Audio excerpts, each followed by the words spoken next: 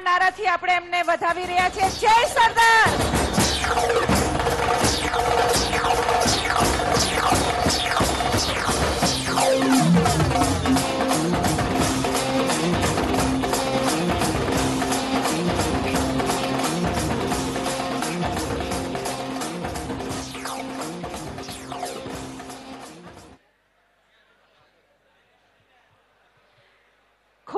શાંતિથી બધા પોતાનું સ્થાન ગ્રહણ કરશે. આપ સૌની ઉત્સુકતા ખૂબ જ છે. તો ઝાઝો સમય નહીં લેતા કાર્યક્રમનો જે વિગતવાર ક્રમ છે એ સંપન્ન કરીશું.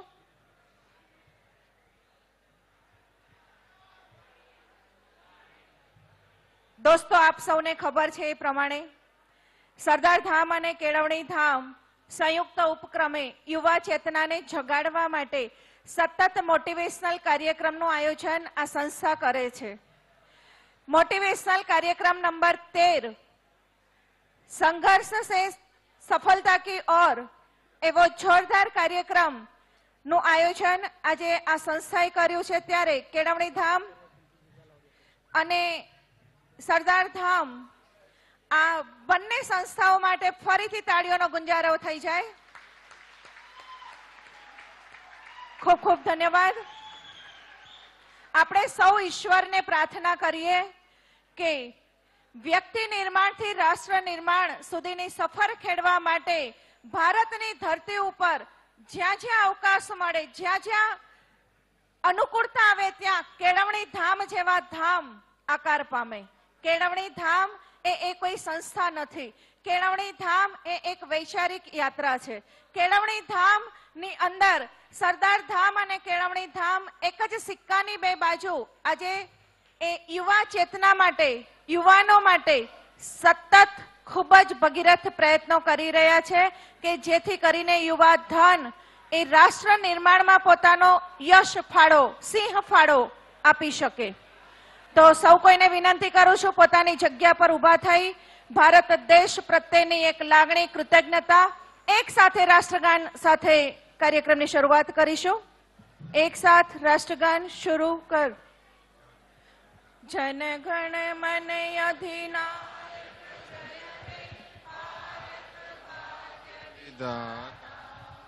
પંજાબ સિંધ ગુજરાત મરાઠા દ્રાવિડ ઉત્કલ બંગા વિંધ્ય હિમાચલ યમુના ગંગા ઉચ્છલ જલ સરંગા તવ શુભ નામે જાગે તવ શુભ આશીષ માગે ગાયે તવ જય ગાતા જનગણ મંગલદાયક જય હે ભારત ભાગ્ય વિધાતા જય હે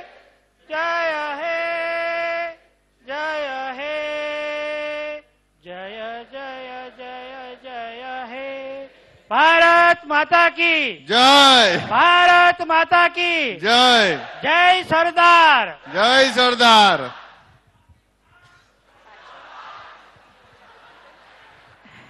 આભાર આપ સૌનો.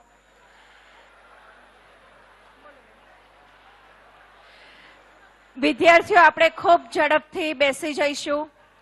હું સમજુ છું આપ સૌની ઉત્સુકતા એ આદરણીય આજના મૂર્ધન્ય વક્તા શ્રી સ્નેહ દેસાઈ ને સાંભળવા માટેની ઉત્સુકતા છે, પરંતુ આપણા ક્રમ અનુસાર હું આજે પણ વિનંતી કરું છું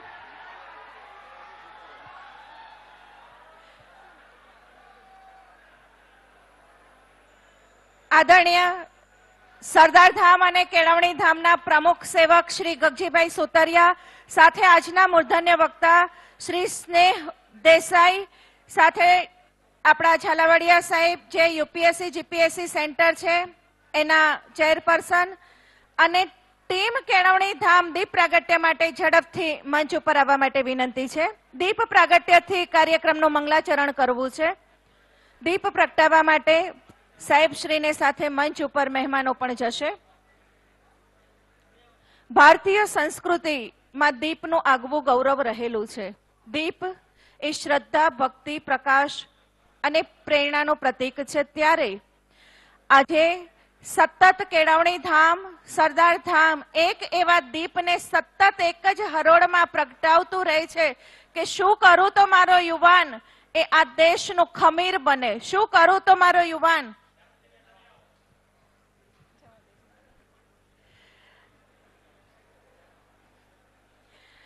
આજે દીપ અહીંયા પ્રગટી રહ્યો છે ત્યારે જોરદાર તાળીઓની ગુંજથી દીપને પ્રગટાવીશું.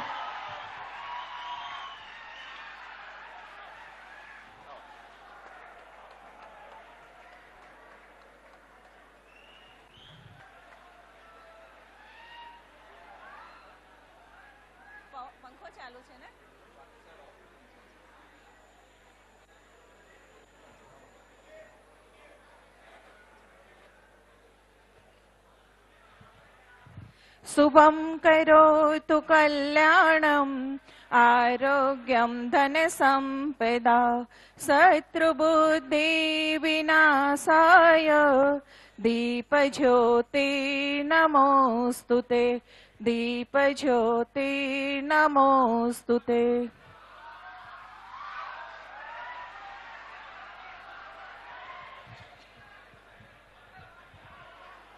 ઈશ્વરને પ્રાર્થના કરીશું કે આ દીપક ના દીવામાંથી નીકળેલો પ્રકાશ સમગ્ર રાષ્ટ્રનો પ્રકાશ બની રહે તેવી અભ્યર્થના. અને વધુ સમય ન લેતા આપ સૌની ઉપસ્થિતિ હજુ પણ વિદ્યાર્થી મિત્રો આપ આવી રહ્યા છો ત્યારે ખૂબ ઝડપથી વિનંતી કરું છું આપ પોતાનું સ્થાન લઈ લેશો. જો સંખ્યા વધારે હોય તો થોડીક ખુરશી આપણે આગળ ખસેડી દઈશું. પાછળ વ્યવસ્થા ઝડપથી સ્વયંસેવક ભાઈઓ ગોઠવી દેશો તેવી નમ્ર વિનંતી છે. દીપ પ્રાગટ્ય થકી મોટિવેશનલ કાર્યક્રમ નંબર તેર, કે જેના વક્તા છે શ્રી સ્નેહ દેસાઈ અને એવા મોટિવેશનલ સ્પીકર કે જેને સાંભળવા માટે આજે હજારો રૂપિયાની ફીસ આપણે ખર્ચવી પડે. પરંતુ આજે સરદાર ધામ અને કેળવણી ધામના પ્રયત્નથી આ એક કહેવાય ને કે ખરેખર આપના માટે એક જબરદસ્ત સગવડ છે કે ન ગુજરાત, પરંતુ દેશના સારામાં સારા સ્પીકર એ તમારા નસીબે સાંભળવા મળે છે. ગયા અઠવાડિયે, એટલે કે આ સિરીઝમાં, મોટિવેશનલ સિરીઝમાં બાર નંબરના વક્તા એટલે કે આદરણીય શ્રી સૌજીભાઈ ધોળકિયાને આપ સૌએ સાંભળ્યા. આજે આપણે જે વક્તાને સાંભળવા જઈ રહ્યા છીએ યુવાન વયે ખૂબ કાઠું કાઢ્યું છે સ્નેહ દેસાઈ અને એમનો પરિચય હું આપું એ પહેલા. આપ સૌની ઉષ્માભરી ઉપસ્થિતિ ને આવકારવા માટે હું વિનંતી કરું છું આદરણીય શ્રી ટીજી ઝાલાવડિયા સાહેબને. વાણી પુષ્પથી સૌનું સ્વાગત કરશે. ઝાલાવાડિયા સાહેબ એ એક્સ આઈએસ ઓફિસર છે સાહેબ આપણા. અને સરદારધામ અને કેળવણી ધામમાં સતત જેમની સેવાઓ છે.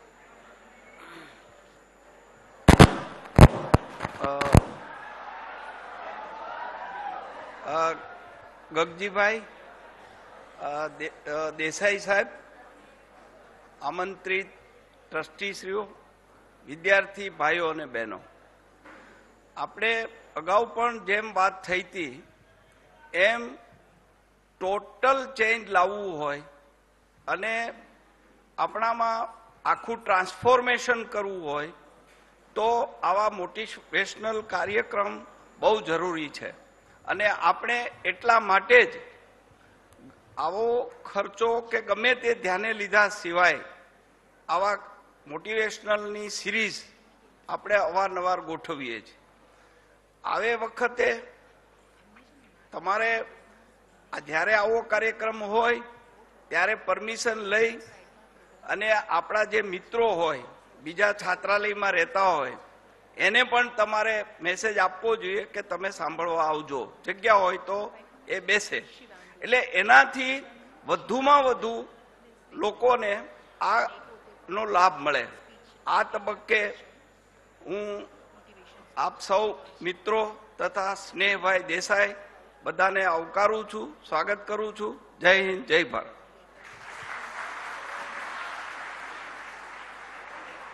આભાર સાહેબશ્રીનો આપ સૌને વાણી પુષ્પથી આવકાર્યા.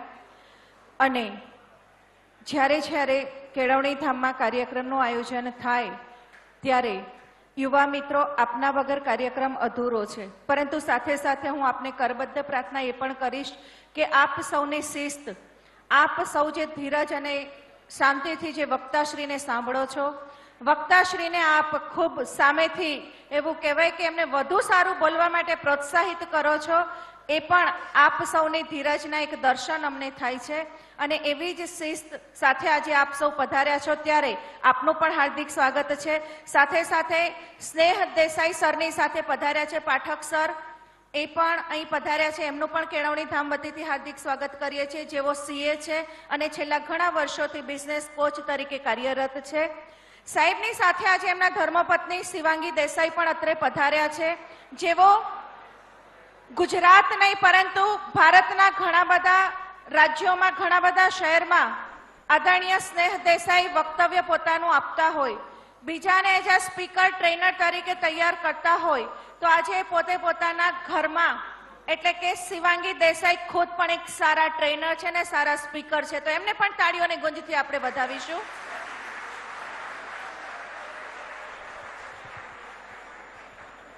તમને એક કહેતા ખુશી અનુભવું છું કે સ્નેહલભાઈ દેસાઈ છે ને, એ પાટીદાર છે.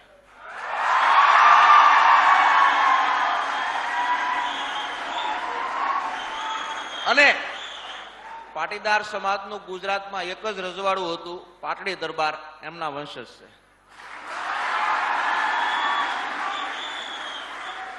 ધન્યવાદ.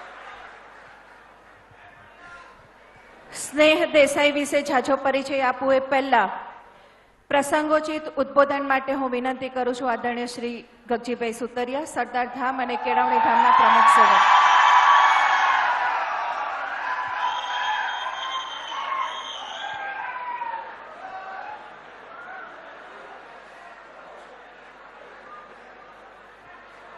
જય સરદાર. ખૂબ મને આજે ખુશી થાય છે કે આપના વિચારો જાણવા અને આપને પ્રોત્સાહિત કરવા માટે સરદાર ધામ કેવણી ધામના સંયુક્ત ઉપક્રમે મોટિવેશનલ સરદાર ધામ કેવણી ધામના સંયુક્ત ઉપક્રમે મોટિવેશનલ કાર્યક્રમ તેરમાં સ્નેહલભાઈ દેસાઈ આપને માર્ગદર્શન આપવા માટે અને આપના બનીને, આપણા બનીને તમને માણવાને મહાલવા આવ્યા છે, પોતાના સમજીને આવ્યા છે. અને આપણા એટલા માટે શબ્દ મેં તમને કીધું ને કે આપણા પાટીદાર છે અને સરદાર સાહેબના વિચારોથી પ્રેરિત છે. ઘણા સમયથી અહીંયા આવવાનું હતું, પરંતુ રહી જતું હતું. અને ધૃતિરેન ભટ્ટ છે, એમનું સંકલન જોઈએ છે. પાઠક સાહેબ પણ ઉપસ્થિત છે. ઝાલાવડિયા સાહેબ, આપણા ચેરમેન શ્રી સિવિલ સર્વિસ કેન્દ્રના પ્રશાંતભાઈ, હિંમતભાઈ, યુવક મંડળના સૌ મિત્રો અને આપ સૌ મારા, જેને કહેવાય ને કે મારા હૃદયના ધબકારા, એવા મારા વાલા દીકરાઓ અને દીકરીઓ. સ્નેહલભાઈ, હું વધુ આજે સમય નહીં લઉં, આ બધાય તો હું અડધો કલાક મને ચાર સ્ટેન્ડ જયારે મુકાવ્યા ને વીસ દિવસ થયા ને તોય મારી પાસે દોઢ કલાક લીધો હતો. અને મારું ખરેખર મારું જીવન તંદુરસ્ત રાખતા હોય ને તો આવડા દીકરા ને દીકરીઓ છે વિશેષ. એટલે આ લોકો તો મને છોડતા જ નથી હોતા, પરંતુ હું છટકી જાઉં છું જલ્દીમાં જલ્દી. તો ખરેખર કેવણી ધામ કે નામ શા માટે રાખવામાં આવ્યું છે કે આપણે સૌ કેળવાઈ અને દેશ અને દુનિયા સાથે તાલ મિલાવીને એક નવી દુનિયામાં આપણી એકવીસમી સદીમાં આપણી ઓળખ પ્રસ્થા- પ્રસ્થાપિત કરી શકીએ, આપણા માતા પિતાનું ગૌરવ વધારી શકીએ, દેશની આન બાન શાન વધારી શકીએ. અને જે કંઈ તમારા સપના છે એ પૂરા કરવા માટે અમે સૌ કટિબદ્ધ છીએ, સંકલ્પબદ્ધ છીએ. મારે કાંઈ વધુ તમને કહેવાનું આજ રહેતું નથી. આપણે નિરાતે વિચારો વાગોળશું શાંતિથી પછી આજે હું આપની વચ્ચે નહીં વધુ રહેતા સ્નેહલભાઈ દેસાઈનો પરિચય ટૂંકમાં ધૃતિબેન ભટ્ટ આપશે, કારણ કે એ સારી રીતે એમને જાણે છે અને સમજે છે. અને આપ સૌ એકદમ શિસ્તબદ્ધ રીતે એક એક વિચારને સમજજો. ખૂબ ઉપયોગી થશે પરીક્ષા આપવા સમયમાં તે, અભ્યાસ દરમિયાન તે જીવન દરમિયાન તે એટલે તમારી ગતિ પ્રગતિની અંદર ખૂબ ઉપયોગી થાય એવા સ્નેહલભાઈ દેસાઈ આપને વિચારો પીરસશે અને આપ સૌનો આભાર. ધન્યવાદ. જય સરદાર. જય સરદાર. હું કાલે ભાવનગર જઈને આવ્યો છું. બે ટ્રસ્ટની મિટિંગ હતી. તો ત્યાં પણ સરદાર ધામ બનવા જઈ રહ્યું છે. અને નજીકના સમયમાં કદાચ તમને સરપ્રાઇઝ થશે કે મધ્ય ગુજરાતમાં પણ સરદાર ધામ ટૂંક સમયમાં એની જાહેરાત થશે. આગળનું આયોજન માટે પણ. આભાર, આદરણીય શ્રી ગગજીભાઈ સુતરિયાનો, કે જેમને વાણી પુષ્પથી આપ સૌને આવકાર્યા. અને સાહેબના વ્યક્તિત્વ વિશે હું હંમેશા કહેતી હોઉં છું, પરંતુ આજે એ વાત ન કરતા એટલું ચોક્કસ કહીશ કે ખૂબ સાદી બોલી સાદું વ્યક્તિત્વ, પરંતુ વિચારો આકાશને પણ આંબી જાય એટલા ઊંચા અને પરિવાર કરતા પોતાના પાટીદાર સમાજની અને સમગ્ર રાષ્ટ્રની ચિંતા જેમણે કરી છે. એમને સૌ કોઈને આવકાર્યા. એમને હું વિનંતી કરું છું, હવે આદરણીય શ્રી ગગજીભાઈ સુતરિયા અને ઝાલાવડિયા સાહેબને આપણે સ્નેહભાઈને અહીંયા સાલ મોમેન્ટોથી સન્માનવા છે. સ્નેહભાઈ, મંચસ્થ થવા માટે વિનંતી છે આપને. સજોડે મંચસ્થ થશો. અને હું એમનો પરિચય એમના વક્તવ્ય પહેલા આપું, પરંતુ એટલું ચોક્કસ કહીશ કે શબ્દોના જાદુગર છે, સ્નેહભાઈ. જેમને ધ્યાન, યોગ, મેનેજમેન્ટ, માર્કેટિંગ, સ્પિરિચ્યુઅલ કોઈ ક્ષેત્ર બાકી નથી. એમને વાસ્તુમાં પણ માસ્ટરી છે. વાસ્તુશાસ્ત્ર રેકી હોય કે હિપ્નોટિઝમ હોય કે પાસ્ટ લાઈફ થેરાપીમાં પણ જબરદસ્ત સ્નેહભાઈની માસ્ટરી છે. અને પોતે ખૂબ સારા કોચ છે. બિઝનેસ કોચ પણ છે. આજે મોટિવેશન સ્પીકર તરીકે પધાર્યા છે. ત્યારે કહેતા આનંદ થાય કે સક્સેસ સિસ્ટમ શીખવાડી છે જેમને. વીસ લાખ લોકોને એમને પ્રેરણા આપી છે અને લોકોને ખરેખર મંત્રમુગ્ધ કરવાની તાકાત છે. અને સૌથી વિશેષ બાબત, નવ વર્ષની નાની ઉંમરથી એમને સ્ટેજ પ્રોગ્રામ કર્યા છે. ઘરનું ઘર પોતાનું નહોતું, ભાડે રહેતા હતા. અને આજે આલિશાન બંગલો કે જેના દર્શન કરવાને એ લાવો છે. એવા મોટા વિશાળ મકાનમાં એમનું મકાન છે કે જેની છેલ્લા તમને અમે એનો વીડિયો બતાવવાના છીએ. તો આજે સ્નેહભાઈમાંથી આપણે એ પ્રેરણા લેવાની છે અને પાટીદારના દીકરા છે. તો વિશેષ ગૌરવની બાબત છે ને સમાજ માટે ગોડ ગિફ્ટ છે. પાટીદાર સમાજ માટે ગોડ ગિફ્ટ કહીએ તોય ચાલે. અને એમનો ઝાઝી વાત ન બોલતા એટલું ચોક્કસ કહીશ કે खुदी को कर बुलंद इतना कि हर तकदीर से पहले खुदा बंदे से खुद पूछे बता तेरी रजा क्या है એવું જોરદાર વ્યક્તિત્વ તાલીઓના ગુંજારવથી એમને આપણે આવકારીએ છીએ આભાર હવે આપ સૌ જાણો છો સંસ્થા હોય એ સામાજિક હોય કે ધાર્મિક હોય સેવા યજ્ઞ સફળ બનાવવા હોય તો આર્થિક અંશદાનની આહુતિ ખૂબ જરૂરી છે. અને એવા અમારા દાતાશ્રીઓ કે જેમના થકી આ સમાજની સેવાની સુવાસ સમગ્ર ભારત દેશમાં અને સમગ્ર વિશ્વમાં પ્રસરી રહી છે, એવા દાતાશ્રીઓને નમન વંદન કરું છું. અને જો ઉપસ્થિત હોય, તો ઝડપથી આપણે એમને સાલથી સન્માની લઈશું. શ્રી વિરલભાઈ હેમંતભાઈ પટેલ પાદરાથી રૂપિયા બે લાખ અને એકાવન હજાર પાંચ દીકરીઓ દત્તક લઈ રહ્યા છે ભણાવવા માટે. હસ્તે પારુલભાઈ કાકડિયા. ખૂબ ખૂબ ધન્યવાદ. પારુલભાઈ સરદારધામના ઉપપ્રમુખ છે. બીજું દાન શ્રી ઘનશ્યામભાઈ ગોકળભાઈ પટેલ, લુણા. એક લાખ અગિયાર હજાર એકસો ને અગિયાર હસ્તે શ્રી પ્રવીણભાઈ રાબડિયા બે દીકરીઓ દત્તક લઈ રહ્યા છે. તો એમની પણ અત્રે નોંધ લઈ અને ખૂબ ખૂબ ધન્યવાદ પાઠવીએ છીએ. ત્રીજા દાતા છે શ્રી સુરેશભાઈ પટેલ, વડોદરા. રૂપિયા એકાવન હજાર આપી એક દીકરી ભણાવવા માટે દત્તક લઈ રહ્યા છે હસ્તે રમેશભાઈ પટેલ. આ બધા જ દાતાશ્રીઓને સરદાર ધામ, કેળવણી ધામ ખૂબ ખૂબ આભારની લાગણી અને અભિનંદન પાઠવે છે. અને કબીરની ઉક્તિ પ્રમાણે કે પાણી બાડે, નાવ મેં ઓર ઘર મેં બાડે દામ, દોનો હાથ ઉલે છે યહી સયાના કામ આ દાતાશ્રીઓએ આવું સરસ મજાનું દાનનું કામ કરી અને પુણ્ય કમાયા છે. ખૂબ ખૂબ અભિનંદન. કાર્યક્રમને હવે આગળ વધારતા દાતાશ્રીઓનું સન્માન અહીંયા ઉપસ્થિત નથી એટલે નોંધ લઈને અમે આગળ વધીએ છીએ. પરંતુ હું સ્નેહભાઈ માટે એક ચોક્કસ કહું, એ એમના વક્તવ્યમાં કહે છે કે if I can do if I can do why can't you હું કરી શકું તો તમે કેમ નહીં? અને ખરેખર જે એમને સાંભળે ને એના જીવનમાં જબરદસ્ત બદલાવ આવે છે આજે માઇન્ડ પાવરના વર્કશોપ હજારો કર્યા છે. ભારતના ત્રેવીસ કરતા વધુ શહેરોમાં કર્યા છે, વિવિધ રાજ્યોમાં કર્યા છે. Africa, UK, Australia, America, Canada જેવા ઘણા દેશમાં તેમના કાર્યક્રમો થયા છે. અને સાથે સાથે એક હજાર કરતા એમના જેવા ટ્રેનર એમને તૈયાર કર્યા છે. તમારે પણ થવું છે ને? થેન્ક યુ તો વધુ સમય ન લેતા હું વિનંતી કરું છું, સાદર નિમંત્રિત કરું છું. આદરણીય શ્રી સ્નેહ દેસાઈ જોરદાર તાળીઓની ગુંજથી આપણે એમને વધાવીશું.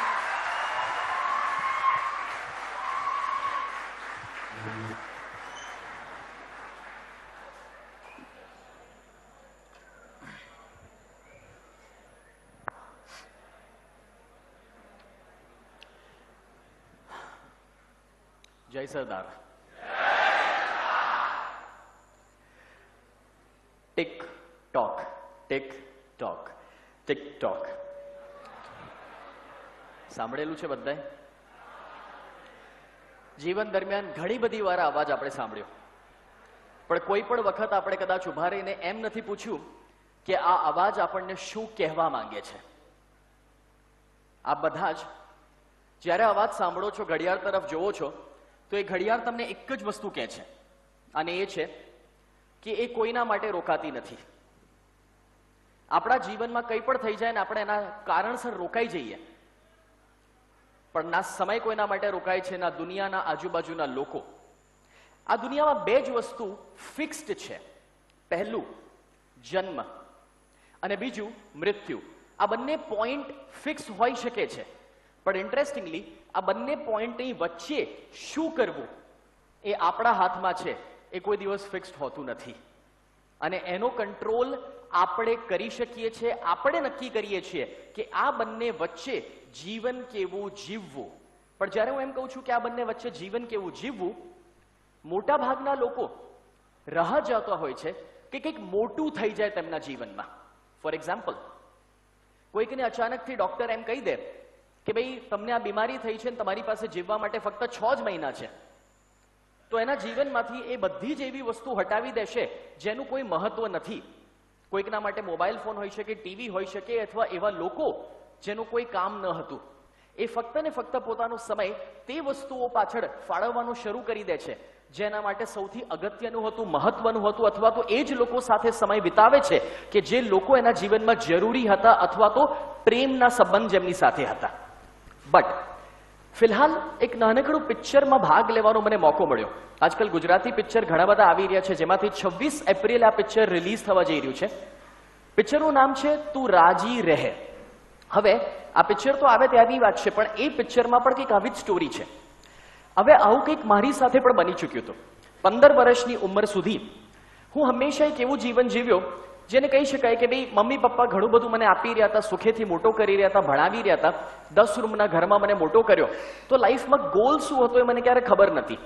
પણ પંદર વર્ષની ઉંમરે કંઈક એવું બન્યું કે મારા ફાધરના બિઝનેસમાં કંઈક ફાઇનાન્શિયલ ચેલેન્જીસ આવે, એમની ફેક્ટરી બંધ થઈ. અને એક દિવસ એવો કે જે ઘરમાં મને મોટો કર્યો તો એ ઘર મારે વેચી દેવું પડ્યું અને જે પણ બાકીની પ્રોપર્ટીઝ હતી એ પણ વેચી દેવી પડી. પણ તે સમય જે હતો, તે સમય હતો અમદાવાદમાં, ગુજરાતમાં અર્થક્વેકનો સમય. અને તે સમય ઉપર જ્યારે પ્રોપર્ટીઝ વેચાઈ, તો તમે સમજી શકો છો કે એના ભાવ કેટલા બધા પડી ચૂક્યા હતા. હવે રિઝલ્ટ કંઈક એવું આવ્યું કે ત્રણ વર્ષ મેં મારા માતા પિતા સાથે ભાડાના ઘરમાં વિતાવ્યા જ્યારે સ્કૂલ પાસ કર્યા પછીથી કોલેજમાં ભણવા જવા માટે મારી પાસે પૈસા ન હતા. મારા ઇલેવન્થ અને ટ્વેલ્થ સ્ટાન્ડર્ડની ફીસ મારા સ્કૂલના પ્રિન્સિપલ સાહેબે ગમે તેમ ચૂકવી હતી અને ત્યારે મેં મારું સ્કૂલિંગ ખતમ કર્યું હતું. હવે આ પરિસ્થિતિમાં જ્યારે તમારી પાસે કોઈ ઓપ્શન ના હોય ને, મને ઘણીવાર લોકો પૂછે કે સ્નેહ, તમે આટલી નાની વયે આટલી બધી પ્રગતિ કેવી રીતે કરી? પણ ઇન્ટરેસ્ટિંગ વાત એ છે કે જો તમે એક બ્રિજ ઉપર ઊભા હો અને એ બ્રિજ જો પાછળથી તૂટી રહ્યો હોય, તો તમે શું કરશો? આગળ દોડશો, બરાબર છે? અને એ દિવસે કંઈક એવું દોડશો કે ઉસાન બોલ્ટને પાછળ મૂકી દેશો. હવે મજાની વાત તો એ છે કે આપણે બધા જ રાહ જોઈએ છે કે આપણા જીવનમાં કંઈક આવું થાય. ઓનેસ્ટલી કહું ઇન્સ્પિરેશનથી કંઈ નથી થવાનું. આજે આ સેમિનાર તમે સાંભળશો, તમને પ્રેરણા આપી દઈશ, પણ એ મોટિવેશન કેટલો સમય સાથે આપણી સાથે રહેતું હોય છે? ચાર દિવસ, પાંચ દિવસ? અને યુટ્યુબ ઉપર આવા તો કેટલાય મોટિવેશનલ વિડીયોઝ આજકાલ આપણને અવેલેબલ થઈ ગયા છે કે વોટ્સએપમાં પણ રોજ સવારે એક મોટિવેશનલ કોટ આપણને મળી જતો હોય છે. પણ મારા જીવનમાં જે બદલાવ આવ્યો તો એ ઇન્સ્પિરેશનનો નહોતો, એ ડેસ્પરેશનનો હતો. મતલબ કે પરિસ્થિતિ. સમયે એ જ કંઈક એવું કર્યું, કંઈક એવી પરિસ્થિતિઓ ઊભી થઈ જેમાં બદલાવ લાવવો જરૂરી થઈ ગયો. હવે ઇન્ટરેસ્ટિંગલી માણસ ત્યારે નથી બદલાતો જ્યારે તેની પાસે ઓપ્શન હોય છે. એ ફક્ત ને ફક્ત ત્યારે જ બદલાય છે જ્યારે એની પાસે કોઈ ઓપ્શન નથી હોતું. હવે, જો આપ બધા પણ રાહ જોતા હશો કે મારા જીવનમાં પણ કંઈક મોટું થાય અને ત્યારે હું કંઈક બદલાવ લાવું તો ત્યાં સુધી ઘણી બધી વાર આપણે લેટ થઈ જતા હોઈએ છીએ. હવે સત્તર વર્ષની ઉંમરે મેં બિઝનેસ તો ચાલુ કર્યો. જ્યારે મેં ધંધો ચાલુ કર્યો, ખબર ન હતી કે શું કરવું, પણ બે વસ્તુની સમજણ હતી મને. એક, શું ન કરવું, મેં એનું લિસ્ટ બનાવવાનું ચાલુ કર્યું. ફરી વાર કહું છું આપ બધાને. કદાચ એવું બનશે કે અમુક લોકો આવશે, જશે. હું ચાહીશ કે આપનું ધ્યાન મારા ઉપર અહીંયા રહે તો, શું કરવું એ સત્તર વર્ષની ઉંમરે મને ખબર ન હતી. પણ શું ન કરવું એની મને સમજણ હતી. મતલબ કે મને સત્તર વર્ષની ઉંમર પછી એ નથી ખબર કે આજે કયું નવું પિક્ચર રિલીઝ થવા જઈ રહ્યું છે. મને એ નથી ખબર કે આજે ઇન્ડિયા ક્રિકેટ રમી રહ્યું છે. મને એ નથી ખબર કે આજે દિવાળી છે અથવા તો મારા મિત્રો આજે સાંજે ક્યાં ફરવા જઈ રહ્યા છે. કેમ? કારણ કે એ બધી જ વસ્તુઓ મેં છોડી દીધી છે મને ખબર હતી કે મને લાઈફમાં આગળ નથી લઈ જવાની. અને સત્તર વર્ષની ઉંમરે એક વસ્તુ મેં નક્કી કરી હતી કે મારા માતા પિતાએ મને દસ રૂમના ઘરમાં મોટો કર્યો છે. હું એમના માટે બીજું આવું દસ રૂમનું ઘર ઊભું કરી દઈશ. હવે, આ ડિસિઝનની સાથે જ્યારે મેં શરૂઆત કરી ઇન્ટરેસ્ટિંગ વાત એ હતી કે એ પછી સફળતા તો મળી. ઓગણીસ જ વર્ષની ઉંમરે કંઈક એવું બન્યું કે મેં મારા લાઈફનો એક નાનકડો ગોલ અચીવ કર્યો. ક્યારેક સપનું જોયું તો મર્સિડીઝ ખરીદવાનું જે ઓગણીસ વર્ષની ઉંમરે ખરીદી. તો જે ઘર બનાવવાનું સપનું હતું તો એકવીસ વર્ષની ઉંમરે પોતાનું ઘર બન્યું અને તેમ તેમ જીવન આગળ વધતું ગયું. આજે ઘણી બધી સફળતા છે. પણ પાછી મજાની વાત થઈ કંઈક એવી કે એકવીસ વર્ષની ઉંમરે ઇન્સ્યોરન્સનું એક ચેકઅપ કરાવવા ગયો હતો. તો મારા ફાધર મેડિકલ ફિલ્ડમાં રહી ચૂક્યા હતા. તો એ ડોક્ટર એમના ફ્રેન્ડ નીકળ્યા, મને ઓળખી ગયા. અને વાતો વાતોમાં મને કહે છે કે, બેટા, તારે એક બીજું આવું ચેકઅપ કરાવવા જવાનું છે. તો મને તો થયું કે ઇન્સ્યોરન્સનું જ હું ત્યાં ગયો અને ડોક્ટરે મને જણાવ્યું કે, ભાઈ, જન્મની સાથે મારા શરીરમાં કંઈક મિસિંગ છે, કંઈક કમી છે. મતલબ કે બાયોલોજીકલી બોડીમાં કોઈ એક ઓર્ગન નથી અને દુનિયામાં પોઈન્ટ ફોર લોકો એવી જ રીતે પેદા થાય છે. હવે એકવીસ વર્ષની ઉંમર સુધી કોઈ દિવસ શરીર તરફ જોયું જ નહોતું અને ધ્યાન જ નહોતું આપ્યું. જ્યારે આ જાણવા મળ્યું, ડોક્ટરે એમ કીધું કે તમારી લાઈફ નાની હોઈ શકે અથવા તો તમારે આ નહીં ખાવાનું, પેલું નહીં ખાવાનું, એકવીસ વર્ષની ઉંમરે જ્યારે આ સાંભળ્યું, ત્યારે અચાનકથી બધું જ ધ્યાન શરીર ઉપર આવી ગયા. આ બે એક્ઝામ્પલ દ્વારા હું એક જ વસ્તુ કહું છું. તમે શેની રાહ જોવો છો? તમે એની રાહ જોવો છો કે ભગવાન આવું કંઈક મોટું કરે, પછી આપણે જાગી જઈએ? એટલા જ માટે કહું છું કે આ જે સમય છે જે જાગવામાં આપણે સમય ઘણી બધી વાર વિતાવી દઈએ છીએ, દુનિયામાં બધું જ પાછું મેળવી શકાશે, પણ સમય જે વીતી જાય છે, એ ક્યારે પાછો મળતો નથી. And when you know this that time is one of the most important resource we have તો એક વસ્તુ પાકી છે. આપણે બધા જ એક સારું અને સાચું ભવિષ્ય બનાવવા માંગીએ છીએ. કેટલા લોકો એક જબરજસ્ત ભવિષ્ય બનાવવા માંગે છે, બહુ જ સફળતા મેળવવા માંગે છે પોતાના જીવનમાં. રાઈટ એવરીવન અને એટલા જ માટે આપણે યાદ છીએ. તો એક વાત પાકી છે. જો સારું ભવિષ્ય જોઈએ ને તો એની શરૂઆત આજથી થતી હોય છે. ઘણા બધા લોકો ભવિષ્યના સપના પણ જોવે છે અને ભવિષ્યની ચિંતા પણ કરે છે, પણ એ આજમાં જીવવાનું ભૂલી જાય છે. અને જો તમે તમારા આજને ભૂલી જશો, તો આજે જે તમે કરી રહ્યા છો, એ જ તમારું ભવિષ્ય બનાવે છે. અને એવરી મોમેન્ટ ઉપર તમારે તમારી જાતને આ ક્વેશ્ચન કરવો જ પડશે. બટ અત્યાર સુધી ઘણા બધા લોકોએ તમને કીધું હશે ગોલ સેટ કરો. ઘણા બધા લોકોએ કીધું હશે કે ભાઈ એનો કેટલા પર્સન્ટેજ લાવવા છે માર્ક્સ લાવવા છે, શું બનવું છે, કઈ પોસ્ટ ઉપર જવું છે, એ બધાના ગોલ સેટિંગ વિશે તો ઘણા બધા લોકોએ અહીંયા ચર્ચા કરી હશે. આજે હું એ ચર્ચા નથી કરવા આવ્યો. હું તમને એમ પૂછવા આવ્યો છું કે તમારા જીવનનો ગોલ શું છે? મતલબ કે કરિયર ગોલ નથી પૂછતો. પૈસાનો ગોલ નથી પૂછતો. તમારા જીવનનો ગોલ શું છે? બહુ જ ઓછા લોકો આ વિચારે છે. ચલો એક નાનકડી એક્સરસાઇઝ કરીએ. અત્યારે જ આપણે એક નાનકડી એક્સરસાઇઝ કરીએ. પણ હા, અમુક લોકોને જરૂરથી કહું, હું મોટિવેટર નથી. મતલબ કે જોરદાર ડાયલોગો બોલીશ અને તમે તાલીઓ પાડશો એવું મારું કામ નથી. આઈ એમ અ સાયકોલોજિસ્ટ અને એટલા માટે મારી રીત થોડીક અલગ છે કામ કરવાની. એટલા માટે આપણે છે ને, હું જ્યારે હમણાં કહું ત્યારે તમે આંખો બંધ કરવાના છો. અને આંખો બંધ કરીને એક નાનકડી પ્રક્રિયા હું તમને કરાવવા માંગુ છું. કારણ કે આપણે આખો જ દિવસ ઓલમોસ્ટ ચોવીસ કલાક બહાર જ જોતા હોઈએ છીએ. પણ સાચા બદલાવ ત્યારે જ આવે છે જ્યારે આપણે અંદર ઉતરવાનું શરૂ કરીએ છીએ. રાઈટ સો એટલા જ માટે હું ચાહીશ કે આપણે એક જ મિનિટ માટે આંખો બંધ કરીએ. Everybody please close your eyes આંખો બંધ કરીએ. બરાબર? આંખો બંધ કર્યા પછીથી આપણે થોડું ભવિષ્યમાં જઈએ છીએ. કલ્પના કરો ભવિષ્યની અને એ કલ્પના કરો કે અત્યારથી દસ વર્ષ, પચાસ વર્ષ, સો વર્ષ આપણે આગળ ગયા છીએ. અને એક એવો સમય આવ્યો છે કે જ્યારે આપણા આ સો વર્ષના જીવનનો અંત આવે છે, જીવન આપણું પૂરું થાય છે. હવે એ દિવસે આ જ હોલ છે, આ જ જગ્યાએ, આ સ્ટેજ ઉપર જ્યાં હું ઉભેલો છું, એ સ્ટેજ ઉપર તમારું શરીર મૂકવામાં આવ્યું છે. તમારું જીવન પૂરું થયું છે સો વર્ષનું. તમારું શરીર મૂકવામાં આવ્યું છે. અને હવે તમે ભલે શરીરથી તો અલગ થઈ ગયા છો, પણ એક ઊર્જા રૂપે, ચેતના રૂપે અહીંયા જ છો. અને ઓડિયન્સમાં જેટલા લોકો બેઠા છે ને, એ બધા જ તમારા મિત્રો છે, પરિવારવાળા છે સગા સંબંધીઓ છે, બરાબર? અને હવે હું એટલું જ ચાહું છું કે તમે કલ્પના કરો કે એ દિવસે આપના વિશે આ સ્ટેજથી શું બોલવામાં આવે? જેમ કે હમણાં હમણાં મારું એક નાનકડું ઇન્ટ્રોડક્શન આપ્યું. એવી જ રીતે એક બે જે બીજા આપણા રિસ્પેક્ટેડ ગેસ્ટ અહીંયા આવેલા છે, એમનું પણ ઇન્ટ્રોડક્શન આપ્યું. હું એટલું જ પૂછું છું તમને. એ દિવસે તમે જો કંટ્રોલ કરી શકતા હો કે શું બોલવામાં આવે તમારા માટે, તો કલ્પના કરી જુઓ કે એ દિવસે તમે શું ચાહશો કે તમારા સો વર્ષના જીવન માટે શું બોલવામાં આવે. હવે, નાના નાના દાખલાઓ લઈએ. સૌથી પહેલા ઇમેજિન કરો, કલ્પના કરો કે તમારા પરિવારવાળા તમારા માટે શું બોલશે? જો એ દિવસે આપના માતા પિતા હોય, આપણે એવી માની લઈએ છીએ કે માતા પિતા છે, તો એ શું બોલશે તમારા માટે? શું તમે નહીં ચાહો કે તમારા મા બાપ એમ કે કે આવો દીકરો અથવા આવી દીકરી બધાને જ મળે. મને એના ઉપર બહુ જ ગર્વ છે. તમારી સાથે જે લોકો કામ કરતા હતા, તમારા જે મિત્રો હતા, શું તમે નહીં ચાહો કે એ લોકો એમ કે તમારા માટે કે ભાઈ આ મારા માટે તો એક પ્રેરણા હતા. મને બહુ જ ઇન્સ્પિરેશન મળ્યું એમના દ્વારા. આટલો પોઝિટિવ વ્યક્તિ તો મેં ક્યારે જોયો જ નહોતો એમણે મને જીવન જીવતા શીખવ્યું. વિચારો, કલ્પના કરો. માની લો કે તમે તમારા જીવનના જીન છો અને તમે ચાહો એ થઈ શકે છે દિવસે, તો તમારા વિશે શું બોલવામાં આવવું જોઈએ? તમારું ઇન્ટ્રોડક્શન કેવી રીતે અપાશે તમારા સો વર્ષના જીવનનું?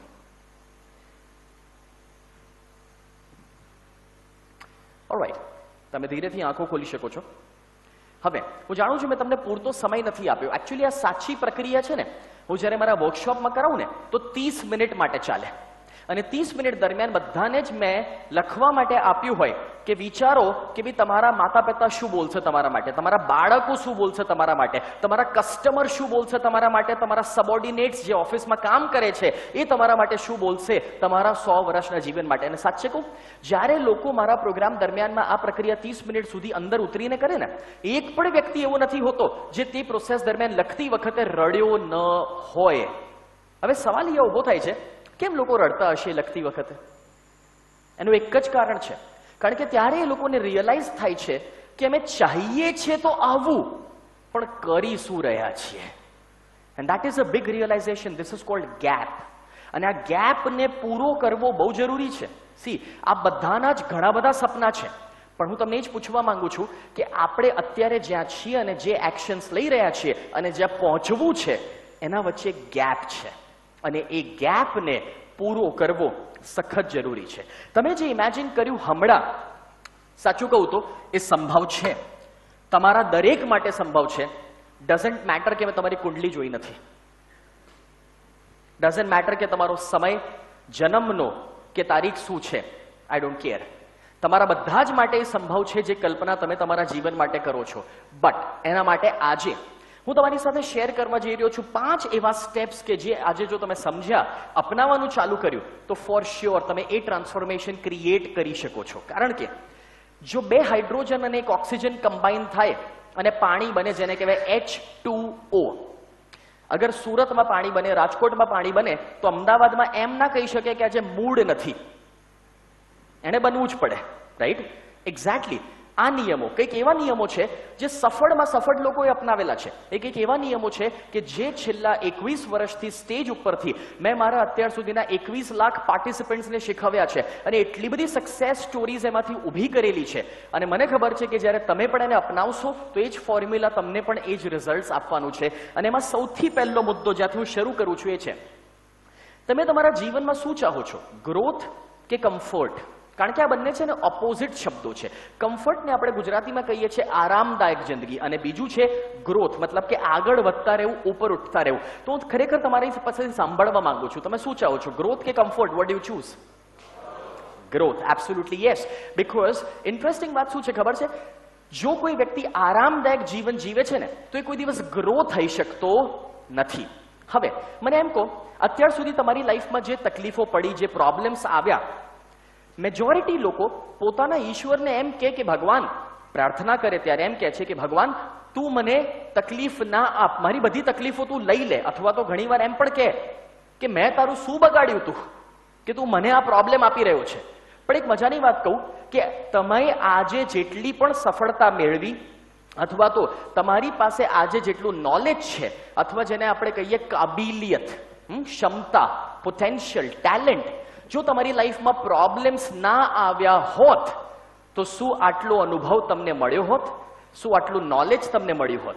નો ઇન્ટરેસ્ટિંગ વાત તો એ છે કે ગ્રોથ ક્યાં છુપાયેલી છે, ખબર છે? અનકમ્ફર્ટમાં છુપાયેલી છે. આરામદાયક જીવનમાં ગ્રોથ નથી. જ્યારે માણસ એમાંથી બહાર નીકળીને કંઈક એવું કરવાનું નક્કી કરે છે, જેમાં આરામ નથી, એમાં જ ગ્રોથ છે. અને સિવિલ સર્વિસીસની એક્ઝામ મેં તો નથી આપી, પણ મને ખબર છે કે એ આરામવાળી વસ્તુ તો નથી જ. હવે આ બધા જ જે નક્કી કરી ચૂક્યા છો અને જે ફિલ્ડમાં ઓલરેડી આવી ચૂક્યા છો, એમાં તમારે અનકમ્ફર્ટ ઉપર ફોકસ કરવું જ પડશે, કારણ કે એ જ તમને ગ્રોથ તરફ લઈ જાય છે. પણ ઇન્ટરેસ્ટિંગલી આપણા બધાના સપના તો મોટા હોય છે, પણ માણસ માત્રનો સૌથી મોટો પ્રોબ્લેમ શું છે ખબર છે? એને હું કહું છું સ્ટેટ ઓફ હોમિયોસ્થેટિસ હોમિયોસ્થેટિસ એક બાયોલોજીકલ વર્ડ છે, જે લોકો મેડિકલ ભણ્યા છે, એમને આ ભણાવવામાં આવે છે, જે હું તમને નાનકડી રીતે સમજાવું. એને કહેવાય state of equilibrium for example આપણું બ્લડ પ્રેશર એની રેન્જ શું છે ખબર છે? વન ટ્વેન્ટી એટી હવે એનાથી જો થોડુંક વધી જાય ને, તો ના ચાલે અને ઓછું થઈ જાય, તો બી ના ચાલે. એ જ રીતે શુગર એ પણ વધી જાય તો ના ચાલે અને લો થઈ જાય તો પણ ના ચાલે. આપણું બોડી અને આપણું બ્રેન બન્યું જ છે કમ્ફર્ટેબલ રહેવા માટે. એક જ બેલેન્સમાં રહેવા માટે. ના વધારે, ના ઓછું. હવે આપણે મેજોરિટી લોકો એટલા જ માટે કમ્ફર્ટેબલ થઈ જતા હોઈએ છીએ જેને આપણે કહીએ છીએ આળસ. ખબર છે શું કરવાનું છે? પણ આળસ એટલા માટે આવે છે, કારણ કે આપણા બોડીની અને આપણા બ્રેનની આ જે અવસ્થા છે ને ઇક્વિલિબ્રિયમ મેન્ટેન કરવાની, એ આપણા સ્વભાવમાં છે. અને એ સેમ વસ્તુ અર્જુન જોડે પણ થઈ હતી કુરુક્ષેત્ર ઉપર. જેવું એણે એના ફેમિલીને જોયું. અર્જુન જેવો મોટો યોદ્ધા પણ એમ કહે છે કે, હું લડવા માટે તૈયાર નથી. એ પણ એક્શન લેવા માટે તૈયાર ન હતો. અને ત્યારે મને એમ કહો કે ભગવાને શું એવું કીધું કે ઠીક છે ભાઈ, તારે નથી લડવું, તો કામ કર, તું રથથી નીચે ઉતરી જા, ત્રણ ચક્કર મારી લે, નારિયેલ ફોડ, દૂધ ચડાય પ્રાર્થના કરી લે અને હું બધું તારા માટે કરી દઉં છું. આવું કીધું? ના. આપણે સૌ જાણીએ છીએ કે એ જો લડાઈ હતી, એ યુદ્ધ હતું અર્જુનનું, તો લડવાનું કોણે છે? અર્જુને. તો જો આ જીવન તમારું છે જો આ લડાઈ તમારી છે, તો લડવું કોણે પડશે? આપણે પોતે. અને એટલા જ માટે હું કહેવા માંગુ છું કે જ્યારે અર્જુન સાક્ષાત કૃષ્ણની સાથે હતો, તો પણ એણે પોતાની લડાઈ લડવી પડી હતી. આપણે બધા જ, ભલે ભગવાનમાં માનવું, પૂજાપાઠ કરવો, પ્રાર્થના બધી જ સાચી વાત છે. એ વિશ્વાસ ભરે છે આપણા અંદર પોઝિટિવ થિંકિંગ લઈને આવે છે, બધું જ સાચું છે. પણ આપણે આપણી લડાઈ તો કરવી જ પડે છે because God helps those who help themselves. અગર આપણે કંઈ નથી કરવા માંગતા, તો આપણા ઈશ્વર પણ આપણા માટે કંઈ કરી શકતા નથી હોતા. અને જ્યારે આ સમજણ મળે, તો ઓટોમેટિકલી આપણું ફોકસ ગ્રોથ તરફ શિફ્ટ થાય છે. પણ હવે, જો સાચી ગ્રોથ જોઈએ ને, તો તમારે સમજવું પડશે કે ઘણી બધી વાર આપણે એક ફેલિયર પેટર્નમાં ફસાઈ જતા હોઈએ છીએ. ફેલિયર પેટર્ન શું છે? ત્રણ સ્ટેપની ફેલિયર પેટર્ન છે. બહુ સમજવા જેવી છે. એનો પહેલો સ્ટેપ છે સ્ટ્રેટેજી આપણે મેજોરિટી ઓફ ધ સમય એક જ સવાલ પૂછીએ છીએ પોતાની જાતને એ છે, કેવી રીતે? કેસે હાવ એક્ઝામ્પલ હું મોટો ધંધો કરવા માંગુ છું. કેવી રીતે કરું? હું દસ કરોડ રૂપિયા કમાવા માંગુ છું. કેવી રીતે કરું? હું દસ કિલો વજન ઓછું કરવા માંગુ છું. કેવી રીતે કરું? હવે જેટલી વાર તમે શરૂઆત કરો છો ને કેવી રીતે? એટલી વાર તમને જે સ્ટોરી મળે છે સેકન્ડ સ્ટેપ છે સ્ટોરી એને ગુજરાતીમાં કહેવાય, શું કહેવાય? વાર્તા રાઈટ હિન્દીમાં કહાની. જે સ્ટોરી તમને મળે છે ને, એ જ નેગેટિવ છે. ફોર એક્ઝામ્પલ જ્યારે તમે તમારા પપ્પાને જઈને પૂછો, પપ્પા, મારે દસ કરોડ રૂપિયા કમાવા છે, શું કરવું? હવે આપણા પપ્પાએ દસ કરોડ જોયા જ ના હોય. બેટા, આરામથી. ઉતાવળ ના કરતો. હવે તમે તમારો કોઈ મિત્રને જઈને પૂછો, મારે દસ કિલો વજન ઓછું કરવું છે, શું કરવું મિત્ર જવાબ આપશે, જીમ જોઈન કર લે એક્સરસાઇઝ કર, વજન ઓછું થઈ જશે. અને તમારો જવાબ શું આવશે ખબર છે? ગયા વર્ષે જોઈન કર્યું હતું મહિનો ગયો પણ હતો. કાંઈ ફરક ના પડ્યો. હવે સમજવા વાળી વાત એ છે કે જ્યારે બહારથી અને અંદરથી તમને નેગેટિવ વાર્તાઓ મળે છે નેગેટિવ સ્ટોરી મળે છે, તો એ તમારી સાયકોલોજીને પણ નેગેટિવ કરી દેતી હોય છે. અને એટલા જ માટે કોઈ પણ ગોલ માટેની શરૂઆત કેવી રીતે હાવથી તો કરવી જ નહીં. હું તમને હવે સક્સેસ પેટર્ન આપું છું. સક્સેસ પેટર્ન એકદમ ઊંધી છે. અત્યારે અમુક એક મહિના પહેલાની વાત છે, ગગજીભાઈ, આપણે જ્યારે સરદાર ધામમાં મળ્યા.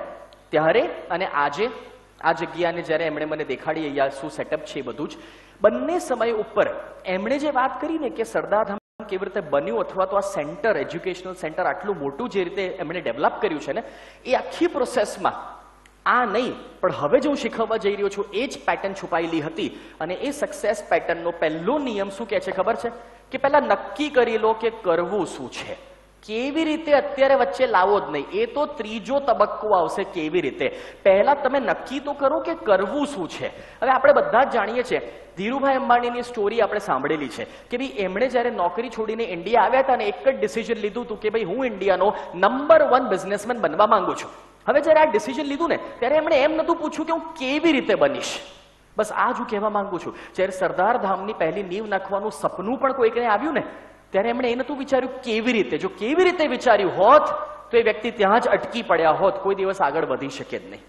પહેલા તો સપનું જોવાની હિંમત હોવી અને એ જે તમારો ગોલ છે ને, એનું જે ડિસિઝન તમે લીધું ને, એ ડિસિઝનને ઈરાદામાં કન્વર્ટ કરી દો. હવે શું ફરક છે ડિસિઝનમાં અને ઈરાદામાં? ડિસિઝન એને કહેવાય કે તકલીફ આવે અને આપણું ડિસિઝન બદલાઈ જાય. પણ ઈરાદો એને કહેવાય કે કેટલી બી તકલીફો આવી જાય, આપણે એ વસ્તુ પાછળ લાગેલા જ રહીએ અને આપણી આજુબાજુના લોકો કહેવાનું ચાલુ કરી દે તો ગાંડો થઈ ગયો છે. એને કહેવાય ઈરાદો. ઈરાદો નક્કી કરવો પડે. યુ નીડ ટુ ડિસાઈડ અને જ્યારે તમે એ એક મોટું ડિસિઝન લઈ લો છો, તો એ પહેલો સ્ટેપ થયો સાયકોલોજીનો કે તમે નક્કી કરી લો, ઠાની લો કે કંઈ પણ થઈ જાય, હું આ પૂરું કરીને જ રહીશ. હવે, આ બધાએ જે શરૂઆત કરી છે let me ask you that question શું તમારો ઈરાદો પાક્કો છે કે તમે આમાં સક્સેસફુલ થઈને જ રહેશો? અહીંયા રવિવારે મૌન વ્રત હોય છે? મારા પહેલા તો જોરદાર અવાજો મેં સાંભળ્યા હતા. એટલે સ્ટેજ ઉપર આવતા પહેલા મેં એમને કીધું કે ભાઈ, તમારે કોઈ મ્યુઝિક વગાડવાની જરૂર નહીં પડે. પણ ફરી એકવાર પૂછી લઉં છું. શું તમે શ્યોરલી નક્કી કરી લીધું છે કે તમે આ ફિલ્ડમાં સક્સેસફુલ થવાના જ છો? રાઈટ બ્યુટિફુલ સો જ્યારે તમે એ સાયકોલોજીકલ લેવલ ઉપર નક્કી કરી લો છો, પછીથી બીજો સ્ટેપ આવે છે અને એ સ્ટેપ છે સ્ટોરી મતલબ કે હવે જો તમારી પાસે સફળતાનો એક્સપિરિયન્સ પહેલા નથી, કારણ કે તમે પહેલી વાર આવું કંઈક કરવા જઈ રહ્યા છો, કંઈ વાંધો નથી. તમારી આજુબાજુ રોજિંદા જીવનમાં તમે એક એવી જગ્યાએ બેઠા છો કે તમને એવા એવા લોકો જોવા મળે છે, સાંભળવા મળે છે, મળવા મળે છે કે જેમનું એક્ઝામ્પલ જ્યારે તમે સાંભળો ને ત્યારે તમને ખબર પડે કે યાર આ લોકોએ તો એવા લેવલથી શરૂ કર્યું હતું જ્યાં તો આજે આપણે વધારે સારું જીવીએ છીએ.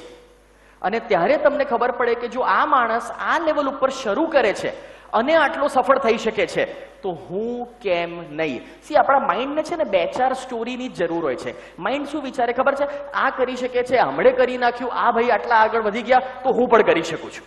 આટલી જ જરૂર છે. અને તમને આ એક એવી જગ્યા છે જ્યાં આ બધા સેમિનાર્સ દ્વારા અથવા તો એવા એવા લોકોને મળવાનું મળે છે કે જ્યાંથી તમે ઇન્સ્પિરેશન લઈ શકો છો, તમારા માઇન્ડને એક સ્ટોરી આપી શકો છો કે હું પણ સેમ સફળતા મેળવી શકું છું. હવે જ્યારે આ સમજણ આપણને મળે છે second step and now come strategy હવે તમારે પૂછવાની જરૂર છે જ નહીં કેવી રીતે. કોઈ પણ સફળ માણસને તમે જઈને એમ પૂછજો કે સાહેબ, તમે જ્યારે શરૂ કર્યું, ત્યારે તમને ખબર હતી કે તમે કેવી રીતે સફળ થશો? બધાનો એક જ જવાબ આવશે, ના. વિશ્વાસથી મેં ચાલુ કરી દીધું તું, કૂદી પડ્યો તો ખબર ન હતી કે અહીંયા કેવી રીતે પહોંચીશ, પણ પહોંચી ગયો. બસ આ જ સમજવાનું છે.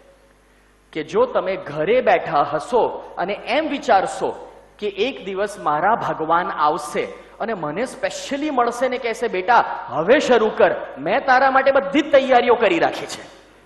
થવાનું જેવું? ના. એનો એટલા જ માટે રાહ જોવાથી રસ્તો નહીં મળે. રાહ જોવાથી રસ્તો નથી મળવાનો. ચાલવાનું શરૂ કરીએ, રસ્તો આપોઆપ બનતો જશે. તાલી પાડી શકો છો? વાંધો નથી.